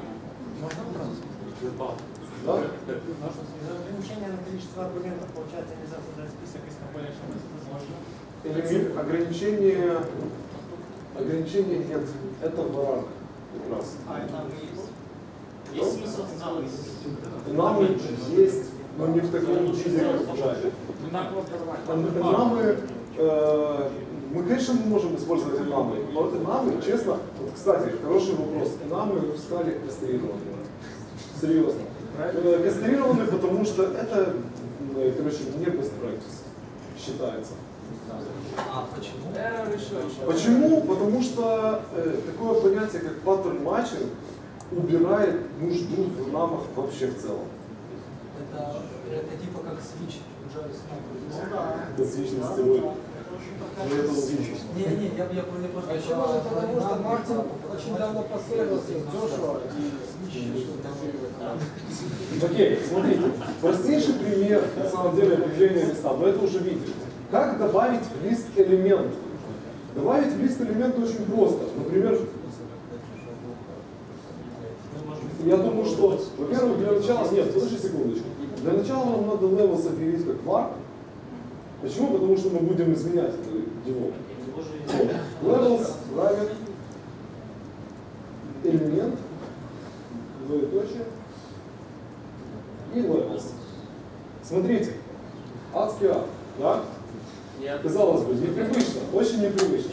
Тем не менее, если выполни, Леша, выполни, пожалуйста, и нажми print на levels. Сделай print на levels покажи, что мы получим. Он добавляет спереди. Оно же непривычно, да? Но тем не менее, обратите внимание, визуально-то точно так же, как мы получаем результат. Он error добавил в начало. По сути, если привыкнуть к синтаксису, все получается очень логично. Мы error добавляем в начало. Мы ставим двоеточие, если мы хотим добавить в конец, то мы ставим levels. Нет. Levels, двоеточие плюс. И вот так. Это уже страшно. Почему не Можно еще по-другому. Хороший вопрос. А что тогда э, делает двоеточие двоеточие? Можно три двоеточия? Секундочку, три двоеточия, подождите, подождите. Одну секунду. Сейчас мы до трех двоеточий дойдем. Я с вами не согласен. Это не, это не добавление элемента. Давай, давай, давай, секунду. Нету. Нету. Дальше. Здесь тоже не просто. Мы рассмотрим еще такое понятие, как мы можем объявить лист. Мы можем объявить при помощи nil. Nil. Что такое nil? Nil это не null. И не, и не его производное. Nil это пустой лист. И мы можем при, при конкатонировать вот этот вот элемент в начало пустого листа. А почему Это вопрос Мартину Одерски, на самом деле. Можно, то есть нас- мы можем написать В каком-то что языке просто, э, Да, Паскале. Паскале не будет. Нил, насколько я знаю, Нил расшифровывается как типа что-то типа пустой лист. Я не помню, как конкретно расшифровка звучит, но, например, там есть non-empty, non- non-empty list в есть библиотека Scalars. Это, это расшир... Scalars, это расширение функциональных, возможностей скала. Есть такое понятие, как NEL, это non-empty list. А nil, вот черт его знает, как расшифровывается. То есть мы можем и пустой лист указать, и nil просто вариант. Но мы можем задать вопрос на целую карточку. А, Смотрите, такое, такое интересное замечание. Да? Если у нас все операторы это методы, то неужели у строки есть метод добавления себя? А, там порядок Если есть двоеточие в... Кто еще? Кто еще? Давайте по порядку. Давайте по порядку. Кто, кто хочет ответить на этот вопрос? Подождите, стоп. Вот человек первый. Это метод компаньон объекта, который создает новый лист. Нет. Это метод трейда. метод двоеточие, Секундочку. Давайте тянуть руки по очереди отвечать. Давайте, секунду. Если метод начинается с двоеточия, если крушение в скалу, что меняется порядок Право ассоциации. Как называется эта ротация? Инфиксная. Все правильно. Вы. Ну это только соглашение. Как можно было ответить на вопрос, не считая соглашения? Надо будет догадаться. Что, наверное, это метод, который объявлен. Чей это метод? Это метод листа. Это Инфиксный. Вот, пожалуйста. Все просто, да, как бы э, сорцы скалы вообще неимоверно выразительны. Я вам, я вам честно скажу, вот они, их читать, это адский ад. Серьезно. То есть для того, чтобы читать сорцы реально самой скалы, нужно где-то level 2 на level. Неплохой уровень. Да? А, это, это предположение такого ленива. То есть, как бы, так как у нас функциональные языки, есть у нас в нем такое понятие, как а, моноид, а моноид это математический робот, или группа, или подгруппа, то в ней должен быть объявлен дефолтный элемент. Поэтому вот этот nil, он же, по-моему, должен написать nis.nil, и в этом классе будет объявлен для, этой, для этого моноида дефолтный элемент. Нет, нет, есть резиденции, но не Где-то там вертикально. так было. Ну, то есть, как бы, Возможно. это, это дефолтный элемент. Хороший, хороший момент, возможно. Хорошо. Э, значит, теперь посмотрим, давайте вернемся. Леша, зачем это сделал? Гадость. Давай уберем все остальные элементы, кроме level с верхнего объявления, да? Ну, то есть... Я понял, да? Удали это. И теперь давайте попробуем э, вычислить аббревиатуры каждого из элементов. То есть вместо info у нас будет i, вместо debug это d, вместо logging это double. Отлично. Естественно, мы Дальше. Underscore, точка. Может быть, показать синтаксис? Давай, давай без underscore, underscore, давай. Level. Что е? А. Нет? Нет?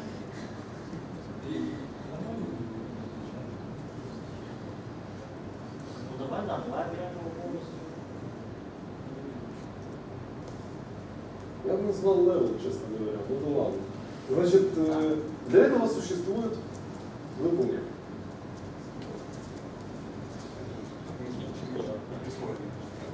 А сама интерпретатор умный. Интерпретатор умный, он сам все покажет. Как, как результат выполнения. Что произошло? И вообще, что значит функция map? Вообще, мы, честно говоря, я как человек с не особо большим математическим бэкграундом, долго думал, какого фига map? Почему не трансформ? Ну, названо да и названо. Но таким образом, на самом деле, это трансформация. Он трансформирует массив одних данных в массив других данных. Просто замапить функцию каждого элемента. Ну а замэпить, да, Да, слушай, да, это да, вообще- Map это глагол из доменной области. Доменная область это мата. Там есть понятие function map что-то, да? Function map value. Естественно. Просто дать соответствие еще. Map это одному или Но, соответственно, на выходе ты получишь совсем другие элементы, по сути. Ну, там получается соответствие элементу одной доменной области Да. другой доменной Вы получаете два листа. Хорошо, Первый и конечный. хорошо. Между ними Кулинар я завел зря, на самом деле. Ну, это из математики. Я согласен. Множество. Ну. Вот. Обратите внимание, что в данном случае мы произвели э, трансформацию из одного вида в другой. То есть мы вместо info debug warning сделали просто ID и W. В Java, кстати, я думаю, все понимают, что нам пришлось сделать. Да? Из первого примера, который мы видели, как бы с проходом, созданием новой коллекции и всеми извращениями. Э, Но благодаря тому, что у нас есть type inference, мы можем делать намного более хитрые вещи. Предположим, у нас есть э, файл паспортов, в котором есть user и паспорт, разделенные через точку с запятой. Мы хотим это замэпить к юзеру. Мы можем это сделать без проблем. Если Леша сейчас напечатает. Для начала мы создадим кейс-класс юзера, у которого будет username и паспорт. Мы создадим коллекцию вот этих вот стрингов, которые нам надо распарсить.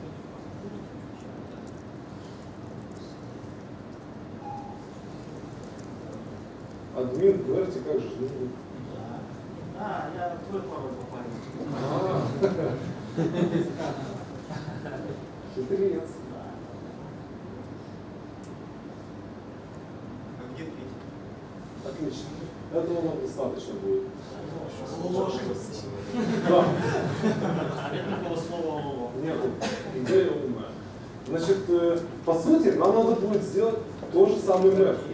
Просто на выходе мы должны получить не стринг, а другой тип. То есть мы получим коллекцию, в данном случае, кстати, это был лист, мы на выходе получаем после мэпа тоже лист. Только уже других типов, а именно типов юзера. Леш, э, я думаю, что тебе придется поставить здесь фигурные скобки. Да. Кстати, фигурные скобки позволяют писать больше одного стейтмента. Это лямбда, да? Что ты делаешь? Я, конечно, ему надо сплитить для начала. Напиши вал, вал сплит.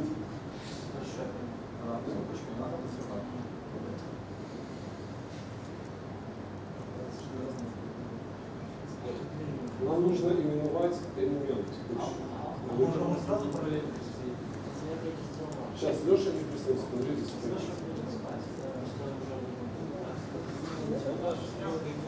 Элемент. Проименуй здесь, если не Что, что, что он в этот метод в, в этот блок Он, он получает элемент вот этого листа.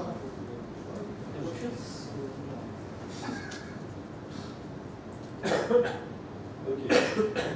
Мы получаем сплит просто такой же сплит, как в Java, который создает просто массив двух элементов. Это по индексу это 0 и 1, да? Теперь мы просто возвращаем user и передаем этот сплит в 0.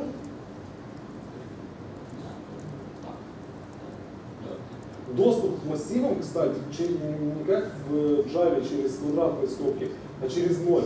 На самом деле это трансформируется в функцию apply, которую передается индекс, и она возвращает. Потому что массив- Потому что массивы это объекты, А они... почему картежи, которые нет области? А можно спросить, фигурные скобки, может быть, надо после вот ютата, стрелочка, потом... Я на самом деле тоже считаю, что дата должен быть здесь. По-хорошему, у нас, кстати, в проекте так и пишется. Ютата, Именно так. а после нее... Я сказал, это идея подсказывает, что должен быть так. Напишем жалобное письмо JetBrains. Мы можем еще вообще сделать фигурными скобочками, сделать это просто скобочками. Вот сделать это просто скобочками, а Сделать- после ютата сделать да, вот фигурные будет. скобочки. Но как бы, что из этого более читаемо? Этот вариант. Что более Пофиг. На самом деле. И, и выходе мы по- получим, мы реально получим массив юзеров. Да, Ну что, закиньте первое место, чтобы не дали. Давай. Как workspace в Eclipse работает. Да, это единственная проблема, кстати, идеи. Весь workspace. Покажи, что у нас получилось.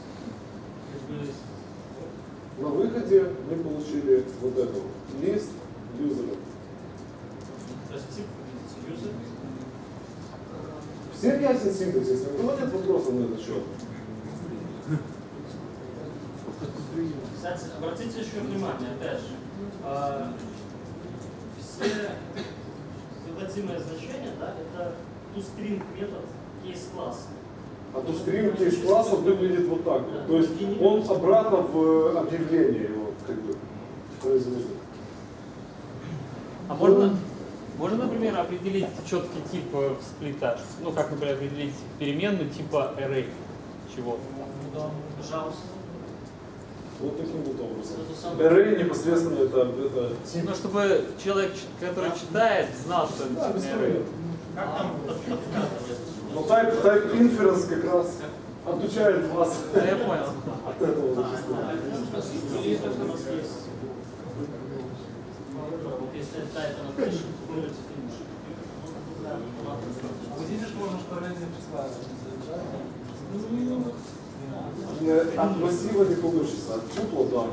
Раскрывание, то есть написать валы в скобочках для переменных только от тупла, от массива нет. А, по-моему, в конце ключ. Что мы тоже будет нормально. Тут тюпл? Я хотел, да, показать, потом вспомнить, что действительно. Давай, давай не будем отвлекаться, потому что это взорвет мозг. Э, с- У нас, давайте посмотрим еще один пример. У нас, предположим, у нас есть э, список пользователей. У нас есть четыре файла или три файла. Он сработал? Нет? Ну. Division 9.3 просто не попал в условия. А, он не попадает, да. Ну да, Division 9.3 не попал в условия, но он работает. Pattern matching работает таким вот образом. А еще можно просто... Что это такое у нас? Компилятор Это, это runtime. Это runtime как раз, как раз runtime.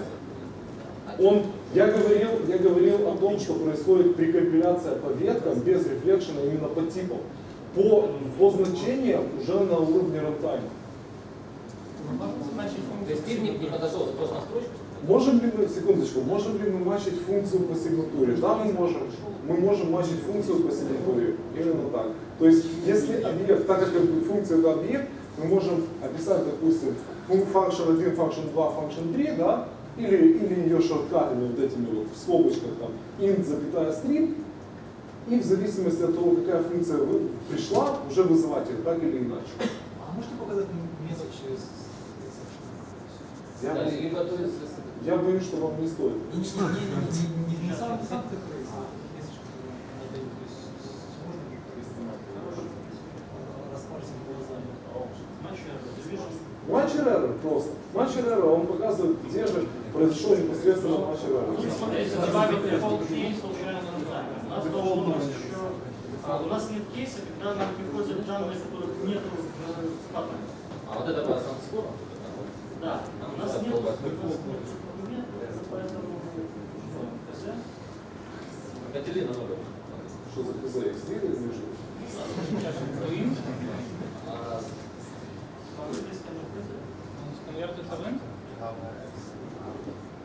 И теперь у нас никакого эксепшена не произойдет. Он просто станет X3. Да.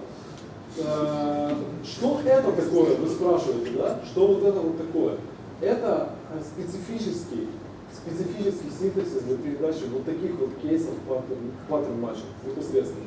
А также, а также, а также э, специфический синтаксис для указания кейвордов. Если вы хотите использовать, допустим, value type, у вас type это зарезервированное слово в скале.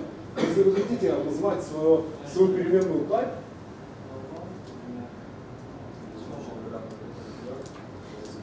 что это? Что Что это было? А то есть, если нельзя, то очень хочется. Да.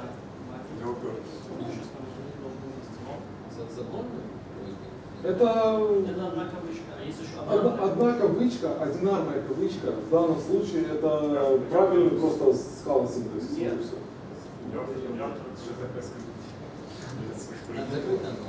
Леша, давай мы не будем... э, А? И вот это типа прямо должно быть, да?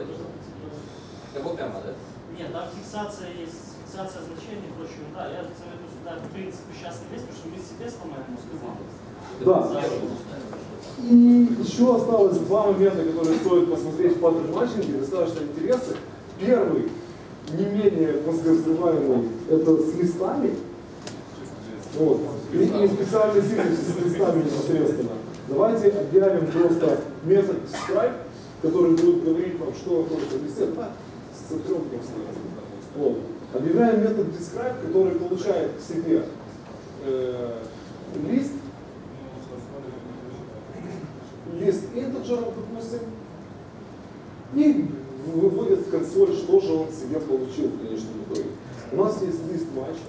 Что ты делаешь? Лист матч. Леша.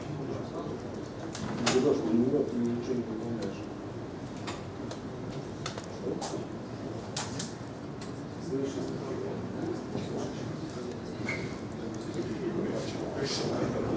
Вот. А теперь, а теперь пошла черная магия. Можно делать?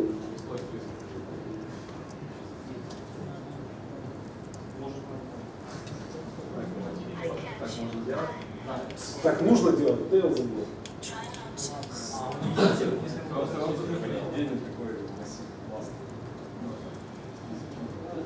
Что это? Пока, пока Леша пишет, вот источник, собственно, пример, что это такое? Это структурный матчинг по структуре листа. Вот этот кейс пройдет только тогда, когда в листе есть первый, второй, третий элемент и хвост. То есть четыре элемента должно быть в общей сложности. Три. Три, три, три, точно. Три элемента, и тейл может быть пустой. Вот. Э, Здесь мы показываем о том, что может быть два элемента, и он перейдет на этот кейс. То есть этот кейс будет иметь больше приоритет, потом этот, и потом, естественно, nil это вообще пустой лист. Мы просто покажем примеры вызовов сейчас. А если местами поменять? Если местами поменять, то до этого кейса мы никогда не дойдем. И в случае, в случае, да, мы никогда, никогда не до него. Если больше трех надо. Если больше трех, то мы попадем на вот этот вот. У нас Нет, будет, надо сделать кейс, где больше трех и все. Ну тогда можно... тогда просто кейс, лист, тогда, тогда кейс, тогда кейс, лист, сайз больше трех. Конечно. А, а можно скажем, если нам приходит лист, и мы, и мы хотим, вот, у нас пятый элемент так вот, и, и какой-то короткий цикл. Вот здесь придется, придется пройти все эти пять цепочек, а здесь вместо имени диалекта написать 5. Все-таки придется писать это. А представь себе, что бы ты написал в Java для этого. Какой предикат бы был? Если size коллекции Да. не И, меньше, чем и, и коллекция индексов не больше, чем... И коллекция индексов равна, индексов 4 равно 5, в таком случае элемента сложно сказать, что хуже, что лучше. Просто если там вдруг не 16. Варианты вызова. Леш, давай здесь напишем, что это все-таки типа самое первое. Я имею в виду не, не первый элемент принципе, а стрингом сказать, что это просто. Ну да, вот да. Давайте, давайте по порядку смотреть. Да зачем? Нам надо написать просто, в какую ветку пошло. Итак, первый момент попадает, первый describe вызов с тремя элементами попадает сюда. Потому что на, у нас есть первый, второй и третий элемент плюс хвост, который пустой. Второй вызов попадает непосредственно в эту ветку, потому что есть первый элемент и хвост. Э, Третий вызов попадает в эту ветку, потому что nil это empty list. Да? И четвертый вызов попадает опять в первую ветку, потому что элементов есть три элемента, и в tail попадает еще четыре. Вот даже вот такие вот штуки можно делать. Кстати, э, вы можете, я не знаю, почему никто не спросил, но вообще применяется ли это, да? Я вам скажу так, применяется, это один из способов реализовать хвостовую рекурсию в скале. Первый вариант, первый вариант это типа first и tail, а второй вариант это nil. Nil говорит о том, что мы дошли до конца хвостовой рекурсии. На алгоритм надо смотреть, но это как раз именно тот кейс, когда используем, при помощи которого можно реализовать хвостовую рекурсию в скале. Exception. Handling exception. Pattern matching в exception. Стандартный try catch, который у нас есть в Java, в скале, в скале тоже слегка настройки. Поэтому а? слайс. В коллекциях есть все слайсы, которые вы. И left, и right, и как угодно. Абсолютно. Там порядка действительно 400 метров, которые любые, которые вам могут понравиться. И aggregate, и что угодно. Реально есть все. Слайс, кстати, действительно позволяет, э, исключая mutable state, иметь а- аккумулятор в коллекции. Все есть. Не переживайте. А вопрос по поводу еще кейсов э, структурных. То есть, например, можно там, вот, возвращаясь к примеру к юзерам, там, например, можно создать такие кейсы, которые бы там проверяли, скажем, если заполнено то или иное поле только, ну, такого плана. Э, Только? А в другом случае, что значит, давайте, давайте посмотрим на это с точки зрения концептуальной. То есть, что значит заполнено поле? Остальные null? Ну. Проставьте null. Именно в этом кейсе. Да. Разве нет? Ну, э, э, то есть, в принципе, placeholder типа везде null. Placeholder говорит, placeholder это не null, placeholder это не важно. Любое. А null это конкретное значение. Ну да, примерно. Вот как работает, как работает try и catch. И вот здесь вот используется паттерн матча для определения типа exception.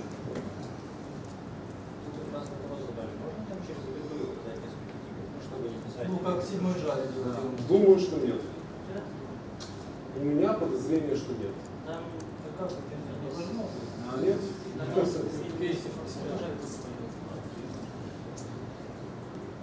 А майнеры больше есть? Есть. Try, catch и ведут они свой же Абсолютно. Абсолютно так же. Просто суть в том, что э, вот эта вот штука в обработке exception более гибкая, чем Java. Опять-таки, потому что используется тот же паттерн матчер, в котором можно делать что угодно. Exception, кстати, кстати, exception может, может быть реализован при помощи кейс-класса, и в exception вы можете использовать такие же штуки, как вы использовали в кейс-классе. Я имею в виду, вы можете э, реализовывать, вы можете использовать его при помощи с, с этими э, с абстракшенами, точно так же, как кейс-класс. Если exception является case class.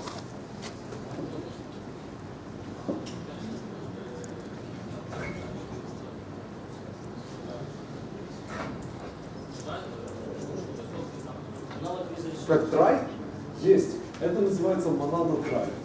Это тоже что-то штука, которую мы рассмотрим чуть позже. Нет, это, это monado try, которая, которая возвращает, короче, результат трая может передаваться в объект. Отдельная история. Вот. э, Что он значит? Он у нас на перерыве что ли? Да, давайте сделаем какой-то потому что к сожалению, сейчас пойдет работает, но кода дофига как-то, да? И каждый раз, когда нам надо парсить эту строку, нам нужно производить вот эти вот ужастики со сплитом. Первый из вариантов, который мы можем рассмотреть, это, это мы говорим непосредственно про неявные преобразования типов. Это это, это, это implicit метод. Значит, мы создадим что? Implicit data. Мы создадим метод, который будет преобразовывать юзера в user string в юзера.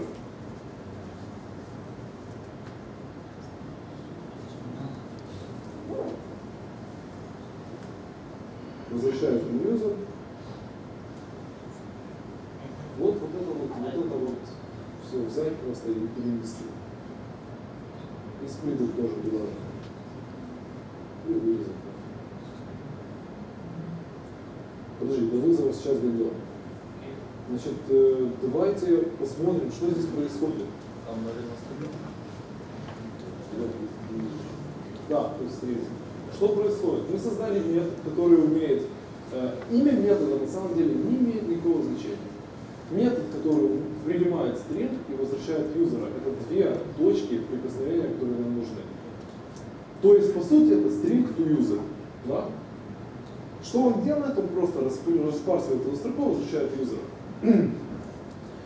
Как мы это можем использовать? И что значит implicit? А implicit это значит, что в случае, когда, когда мы в метод describe пытаемся передать строку, будет вызван неявный метод. И, и это будет выглядеть где-то так.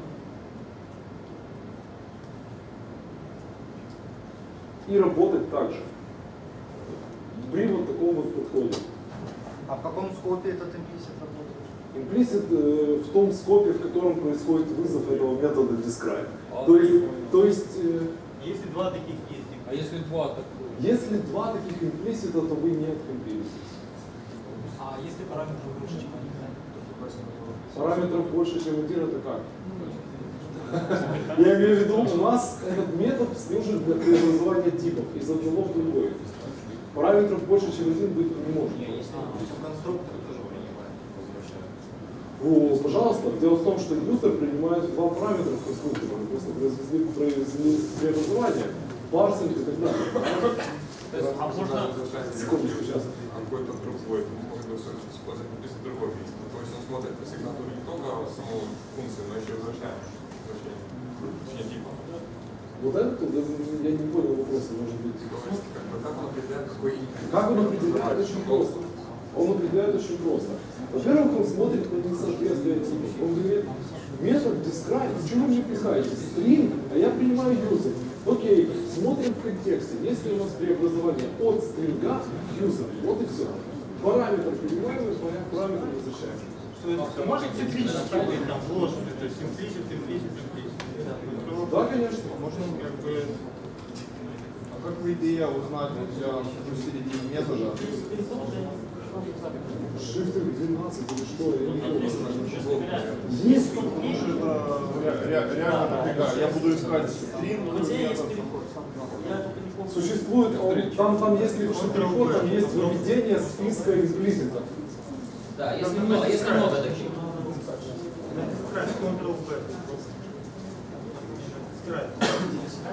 Я не спрашивал, на самом случае, если Ctrl-B нажмите, скажем, на который перейдет и вот этот дисклеймер вынести наверх. Ну, и хорошо, будет просто два, я не знаю, два, два лишних отдельных, и все. Я не знаю, просто э, тип, он, он работает для преобразования одного типа в другой. То есть он не может преобразовать, преобразовать два типа в один. Этот, этот кейс не сработает. То есть, ну, получается, что каждый раз будет искать, существует ли имплисит функция, Да, если... компилятор, не интерпретатор, компилятор. А, Ну, А в он как-то А работает? табло может Жене- преобразовать другой тип? Секундочку, сейчас, сейчас.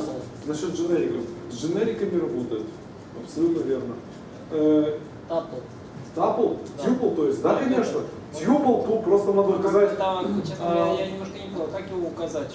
В сигнатуре указывается класс tuple 2, если там два параметра, и в дженериках указываются типы значений. Вот и все. А может имплисит работать с функцией, которая мапит string к string? То есть один, этот же тип, который... Это, это немножко другое будет. Э, Мы посмотрим на паттерн под названием build my library, который непосредственно это покажет. Давайте разберемся сейчас с тем, что у нас есть. Соответственно, эти имплиситы, э, да, вот, implicit conversion, их и так уже по дефолту достаточно много. Многие из них наследуются сразу по, по- от, от, э, Scala, от Scala Library, но в принципе как бы такой подход у нас используется. В чем могут быть потенциальные проблемы? Значит, во-первых, такой подход явно не для джуна. Человек, который приходит и смотрит код, Леша, как ты код стал э, по- по- Поменьше, поме- да. поменьше, да. Человек, который приходит и смотрит вот такой код, он говорит, what the fuck, что это такое? Как это получилось? Даже если он знает, если он видит имплисит здесь, это выносит мозг моментально. А, да, а, че- а люди, которые приходят из Java еще, они смотрят на, вот, на имя метода и говорят, так, судя по тому, что мы видели в Spring Data, наверное, здесь по имени метода как-то завязано. На самом деле ничего подобного. Конкретно по сигнатуре метода. Это один из примеров. Э, Что еще? Что еще? Это, это мы рассмотрели непосредственно неявное преобразование типа. Мы можем рассмотреть еще такое понятие, как неявный параметр. Давай, вот. Что такое неявный параметр? Э, Предположим, у нас есть какой-то сервис, который работает в контексте чего-то. То есть у нас есть класс контекст, который содержит или configuration, который содержит какие-то параметры, и у него есть куча методов. Э, Так как сервис singleton, то ему нужно в эти методы передавать configuration. Говорит, вот чувак, смотри, дай мне, пожалуйста, список пользователей вот при таком вот configuration. Отдал. А потом дай мне, пожалуйста, список их, его там security, он тоже отдал.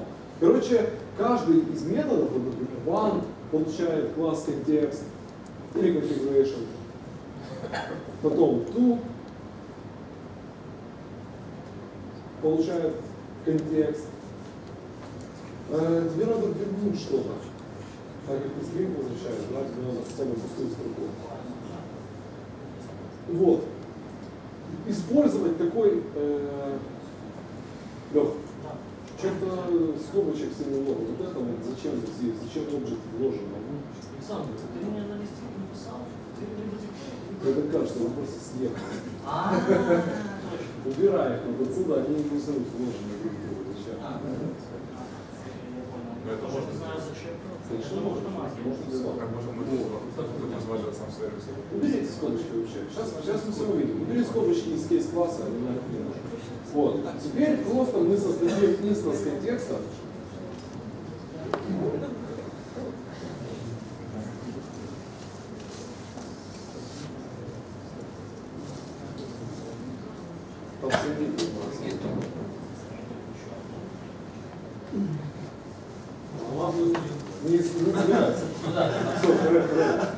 Кстати, или, или за, заюзать имплисит, который э.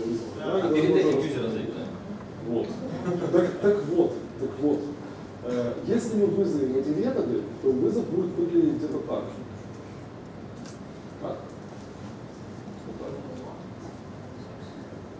Да. И потом э, true контекст и так далее.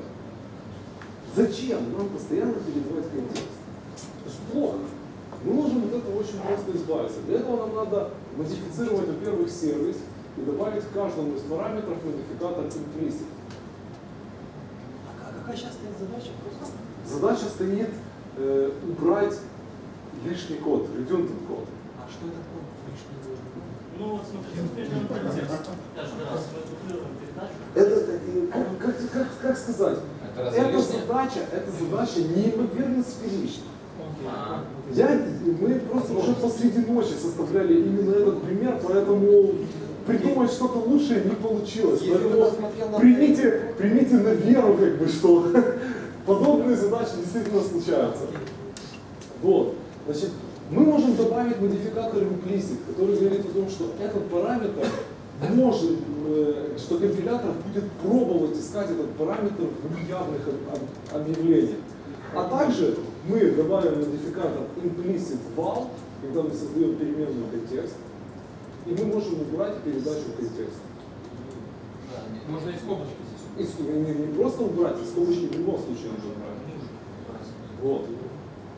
Таким образом, таким образом, объявив единожды контекст, в котором мы работаем, все остальные методы будут знать о нем всегда, уже. Э, Помимо всего прочего, мы всегда можем явно объявить этот контекст, передав в метод пул, например, передать контекст сейчас. Даже, даже Ничего страшного. Ничего страшного, то же самое. Разработать он будет так же, компилироваться. Как это называется? Все. Это называется, это называется implicit parameter. Вот такой вот компонент. А если сам объект, который implicit вал на 26 строчке, не указать implicit Нет, конечно, если не указать, если не указать, то э, код не откомпилируется, а может и не попробуй, я не уверен, или не, не синтерпретируется, не выполнится. Не выполнится, потому что не будет, потому что параметр не передан, вот, он не может найти implicit value. Параметр не передан, вот здесь вот, но при этом имплисита нету, он в неявном нигде не указан. То есть это рантаймер. Ищет самоперемен. Это рантайм. Нужно явно Он ищет, он ищет его в контексте выполнения. Вот, кстати, непонятно, почему он на моменте компиляции это не проверяет. Для меня это загадка. Но он ищет по типу или... Он ищет по типу. А, а, а можно спросить, похоже ли это на dependency injection? Благодаря этому в скале иногда делают dependency injection. Именно таким подходом делают, то есть там есть э, некоторые подходы для реализации dependency injection, использование implicit параметров и переменных это один из этих подходов. То есть это уже, уже именно языку делегируется. Да, да. А в каком контексте он ищет? В том, в котором объявить. Опять-таки, если есть класс, допустим, мы можем вот это вот, вот это обрамить в метод и сказать, что этот метод будет сейчас вызывать 2, 3, 4 метода этого сервиса, которые требуют контекста. Для того, чтобы не передавать его каждый раз, мы здесь, вот в этом методе, верхнем, объявили implicit val, и он работает в контексте всего этого метода. Мы можем объявить внутри нашего класса, который использует этот сервис. И ну, контекст такой же, как, как и просто объявление переменной, допустим. Да, да. А вложенным контекстом имплиситы передаются? Я могу, сейчас поясню. Я могу, например, в контексте класса определить какой-то имплисит, э, а он будет использоваться в контексте методов этого класса. Только если методы тоже принимают аргумент часть. Ну, если методы вызывают какие-то функции, которые запрашивают этот имплисит, э, может ли этот имплисит взяться из контекста класса? Например, в методе он отсутствует. Так он Контекст метода. Контекст метода это класс. Ну и все больше. То есть, если я забыл в моем методе указать имплисит для использования, он может подтянуться откуда-то из класса. Если, если в сигнатуре метода не указан имплисит, это работать не будет. Нет, нет, чужие, я использую чу- чужой метод или чужую функцию, в, кото- в которой указан имплисит. Для этого я должен в своем контексте указать э, какое-то значение как имплисит. Я его указываю не в своем методе в класс, а где-то, например, ну, в самом классе, там, филду, или я не знаю, как это делать. Если в, своем- если в твоем классе, из которого ты будешь вызывать тот метод, указать имплисит наверху, как, как field, да, он будет виден для всего класса, а соответственно имеет класс scope, а соответственно работает. Да, то есть все-таки Это- надо быть внимательным, чтобы нужно имплисит подтянуть. Лучше не переносить уже напрямую, Дело в том, что неявные, неявности вообще сами по себе требуют достаточно внимания и, и понимания. А у вас в проекте нет каких-то Ну, конвенций, каких-то рестрикшенов на такие штуки? Рестрикшенов у нас нет. Пока что мы, мы не сталкивались с проблемами, но мы используем имплиситы как раз именно для контекстов. В основном для контекста Spark, библиотеки для облачных вычислений. Она, э, он, э, короче, мы используем имплиситы для этакой dependency injection в некоторой степени. Вот, вот как-то так. А если у нас есть время, в двух словах опишите конкретнее. Как это реально происходит? Вы определяете веком модули, ваши бины. Pimp My Library сейчас А. Про My Library? Да нет, вообще Нет, про вот как вы используете для dependency injection? Dependency injection мы используем? В двух словах у нас есть методы, которые ожидают определенного контекста. Предположим, э, как бы это на примере сказать, есть такое понятие, как Spark контекст. Это опорная точка, от которой происходят все облачные вычисления. То есть класс, на котором мы вызываем методы для, для произведения облачных вычислений. Этот контекст один на все приложение. Но это в одном случае. Иногда их может быть два и три. Иногда можно выполнить сказать, в одной части кластера, иногда в другой и так далее. Так вот, э, для, э, как бы, так как контекст варьируется, но зачастую он э, везде используется один и тот же, да? То есть, как бы, я имею в виду, если вы начали работать в методе,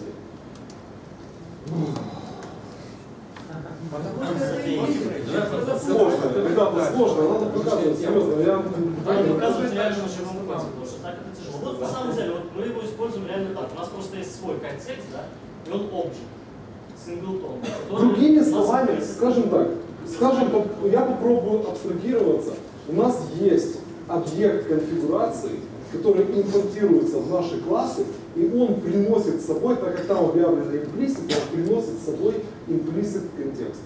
Вот как-то так. А там же, понимаете, как хотите. Времени нет сейчас и сил в конкретике.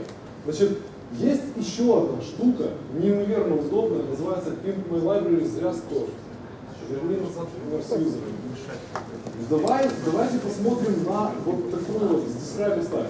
Значит, этот пример хорош в случае, когда мы действительно хотим неявных преобразований. А что если мы хотим э, дать юзеру контроль над этим, на- над, над его кодом? То есть позволить расширить функционал, допустим, стринга. Что если мы хотим, чтобы у стринга был метод toUser, который преобразует его в user?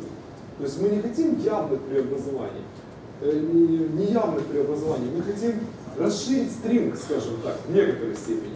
Scala не поддерживает прототипирование, допустим, как Groovy или JavaScript, поэтому на лету вы методы не можете добавлять в чистом виде. Но существует как раз штука под названием Pimp My Library, которая при помощи имплиситов позволяет расширять, позволяет добавлять методы, такие вещи как string и еще что-то, то есть которые вы можете модифицировать. Как мы можем изменить наш код для того, чтобы у стринга появилась to user метод? Мы создадим класс под названием extended string. Просто класс. Просто класс.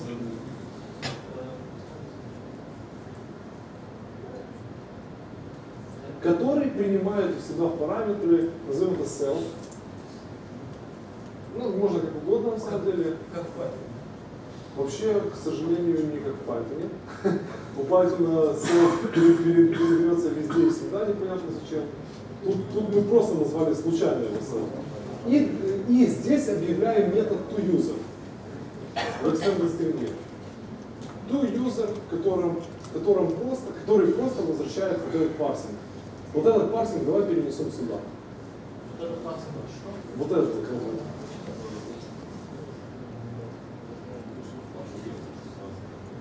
Self, splitting. И все. To user, вот эту скобочку давай убираем. Скобочку. Вот так. Значит, э, дальше. Нам надо изменить вот это implicit определение. Пиши string to extended string. Его, его, его, его надо изменить. Переименовать в.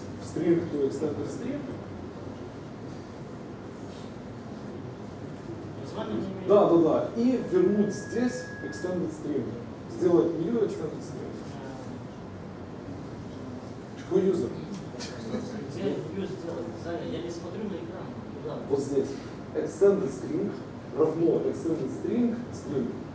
Окей? Extended Зачем юзер?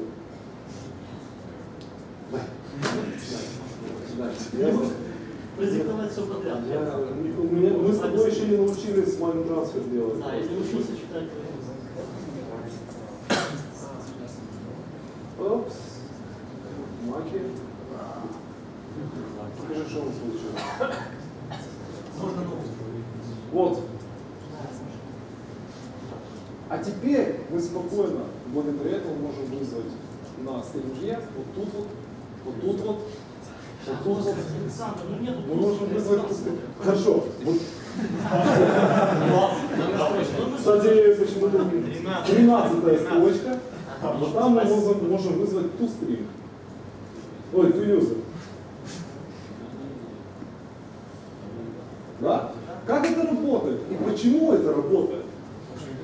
Э, Значит, во-первых, у нас есть преобразование стринга в класс extended string. Обычно эти стринги называют, эти классы называют не, не extended, а называют, допустим, string functions и так далее. То есть этот шаблон подразумевает именно такой вот э, naming convention.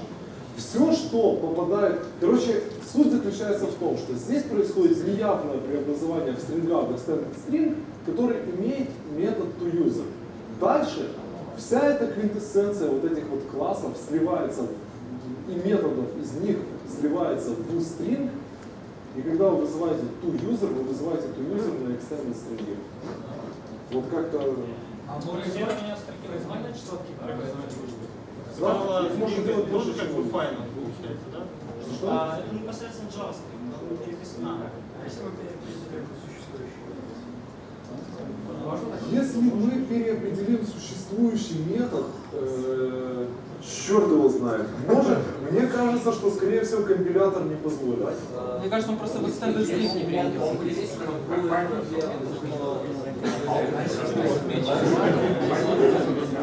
Что дальше Ребят, ребят, подождите, подождите, одну секунду. Но, э, я не могу вам ответить на этот вопрос, что произойдет.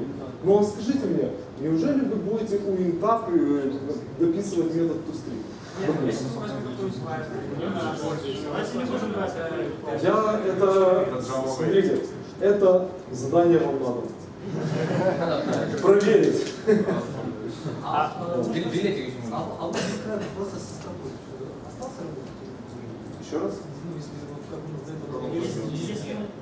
Нет, мы убрали, мы убрали, мы убрали здесь определение эксплисита, поэтому работать со строкой сейчас не будет. Но тем не менее есть возможность сделать to-user. Мы это используем тоже частенько и используем по той причине, что в некоторых местах, например, например, мы добавляем factory методы к старым Java классам, которые не для интеграции больше. То есть мы используем Hive, такое понятие для, для data warehousing у нас в проекте, и в некоторых местах нам действительно нужны factory методы, которые дают э, более тесную интеграцию с, с- со скалой. Скала сама по себе идет в комплекте с пачкой э, неявных преобразований типов для коллекций из старых Java коллекций в новые Scala Collections. Называется Java Conversions.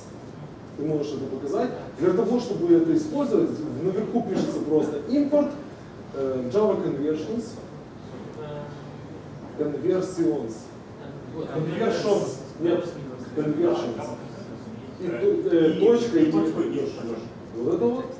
И таким образом теперь любая коллекция Java Util List, Java Java Collection List, допустим, да, collection list, Java Util List, он, он может спокойно. Нет, напиши просто, создай ему лист, array лист. А, что-то я тоже уже. Arrays, list. Вот. Нет. Секундочку. Смотрите, значит, э, у нас есть переменная под названием э, list, которая принимает Scala Collection э, immutable list. Да? И мы можем, блин, да ну что ж за такая? Вот, и мы можем выполнить что-то.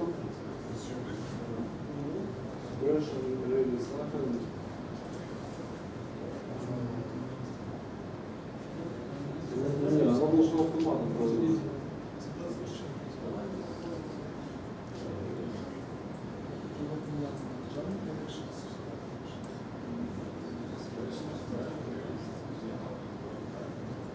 Я боюсь, я боюсь, что мы что-то... А почему Не, не, не, не, нет. Когда вы используете Java классы в скале, все равно используете угловые скобки. Короче, это должно работать. Если неизвестно. А может не убрать Ты уверен? Java List Buffer? Что с ним? Мы, если мы будем показывать, будет еще хуже. Э, Есть, есть еще, на- наверх поднимем. Есть еще такое понятие, как Java Converters, которое добавляет в Java коллекции методы. Ты знаешь, ты знаешь, что я тебе хочу сказать? Мне кажется, что импорты не работают в, этой, в этом шеле. У меня есть подозрение, что они не работают. Короче, Там, там просто, ну, э, нужно брать импорт и ну, добавить ну, какое-то определение. Пофиг. Ну да, Пофиг. В любом случае, импорт, мне кажется, что они не работают, но суть в том, что этот импорт должен добавлять методы S, скала и так далее. И конкретно вот такого вот плана. Есть у кого-то вопросы по имплиситам? Да, есть. Сейчас, по порядку. А, В Play есть пример, когда request имплиситом Забудь, пожалуйста, сейчас про вопрос Хорошо, подожди, подожди. Request имплиситом добавляется в метод. И в имплементации метода, который принимает какой-то тип запроса. Ну, вот, по-моему, здесь такой пример не рассматривал, мне интересно. Это как раз, это как раз пример с implicit параметров. Имплисит параметр, но он не как аргумент, он уже, он уже в теле метода.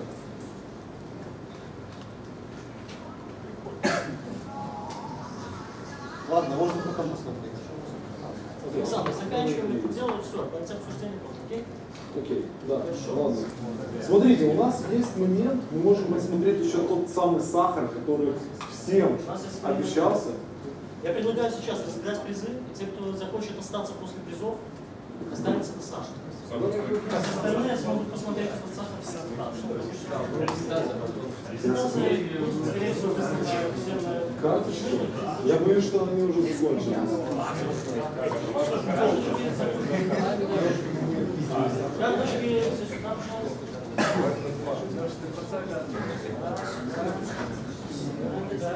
Кого еще есть карточки, кто-нибудь есть?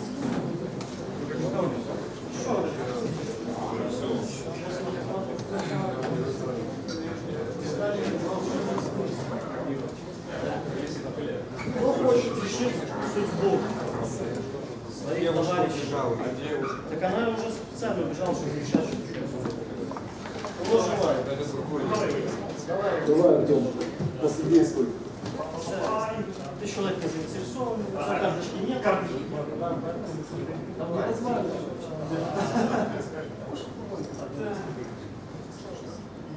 Заимка ОВ. Тебе достается сигала. Это такая маленькая? Это, ну да, тоненькая, на 300 примеров использования сигала. Маечка. Да, такая.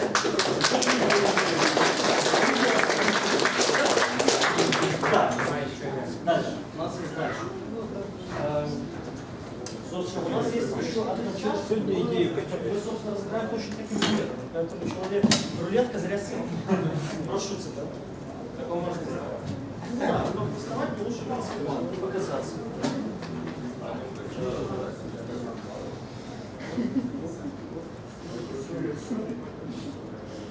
Александр Васильенко.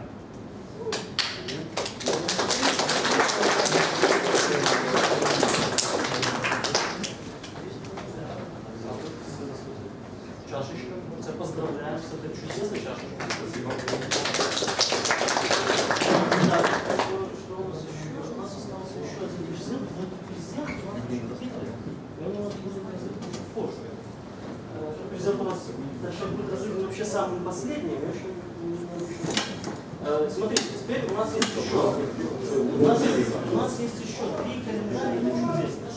Три бутылки воды. Да, но мы не разделяем. Но у нас есть вот такие вот ништяковые штуки. Так, человек рулетка, мы определяем судьбу. Значит, как мы определяем судьбу? Сейчас мы доставим пример. товарища. Волков Александр. Александр Волков. Александр, что тебе нравится больше?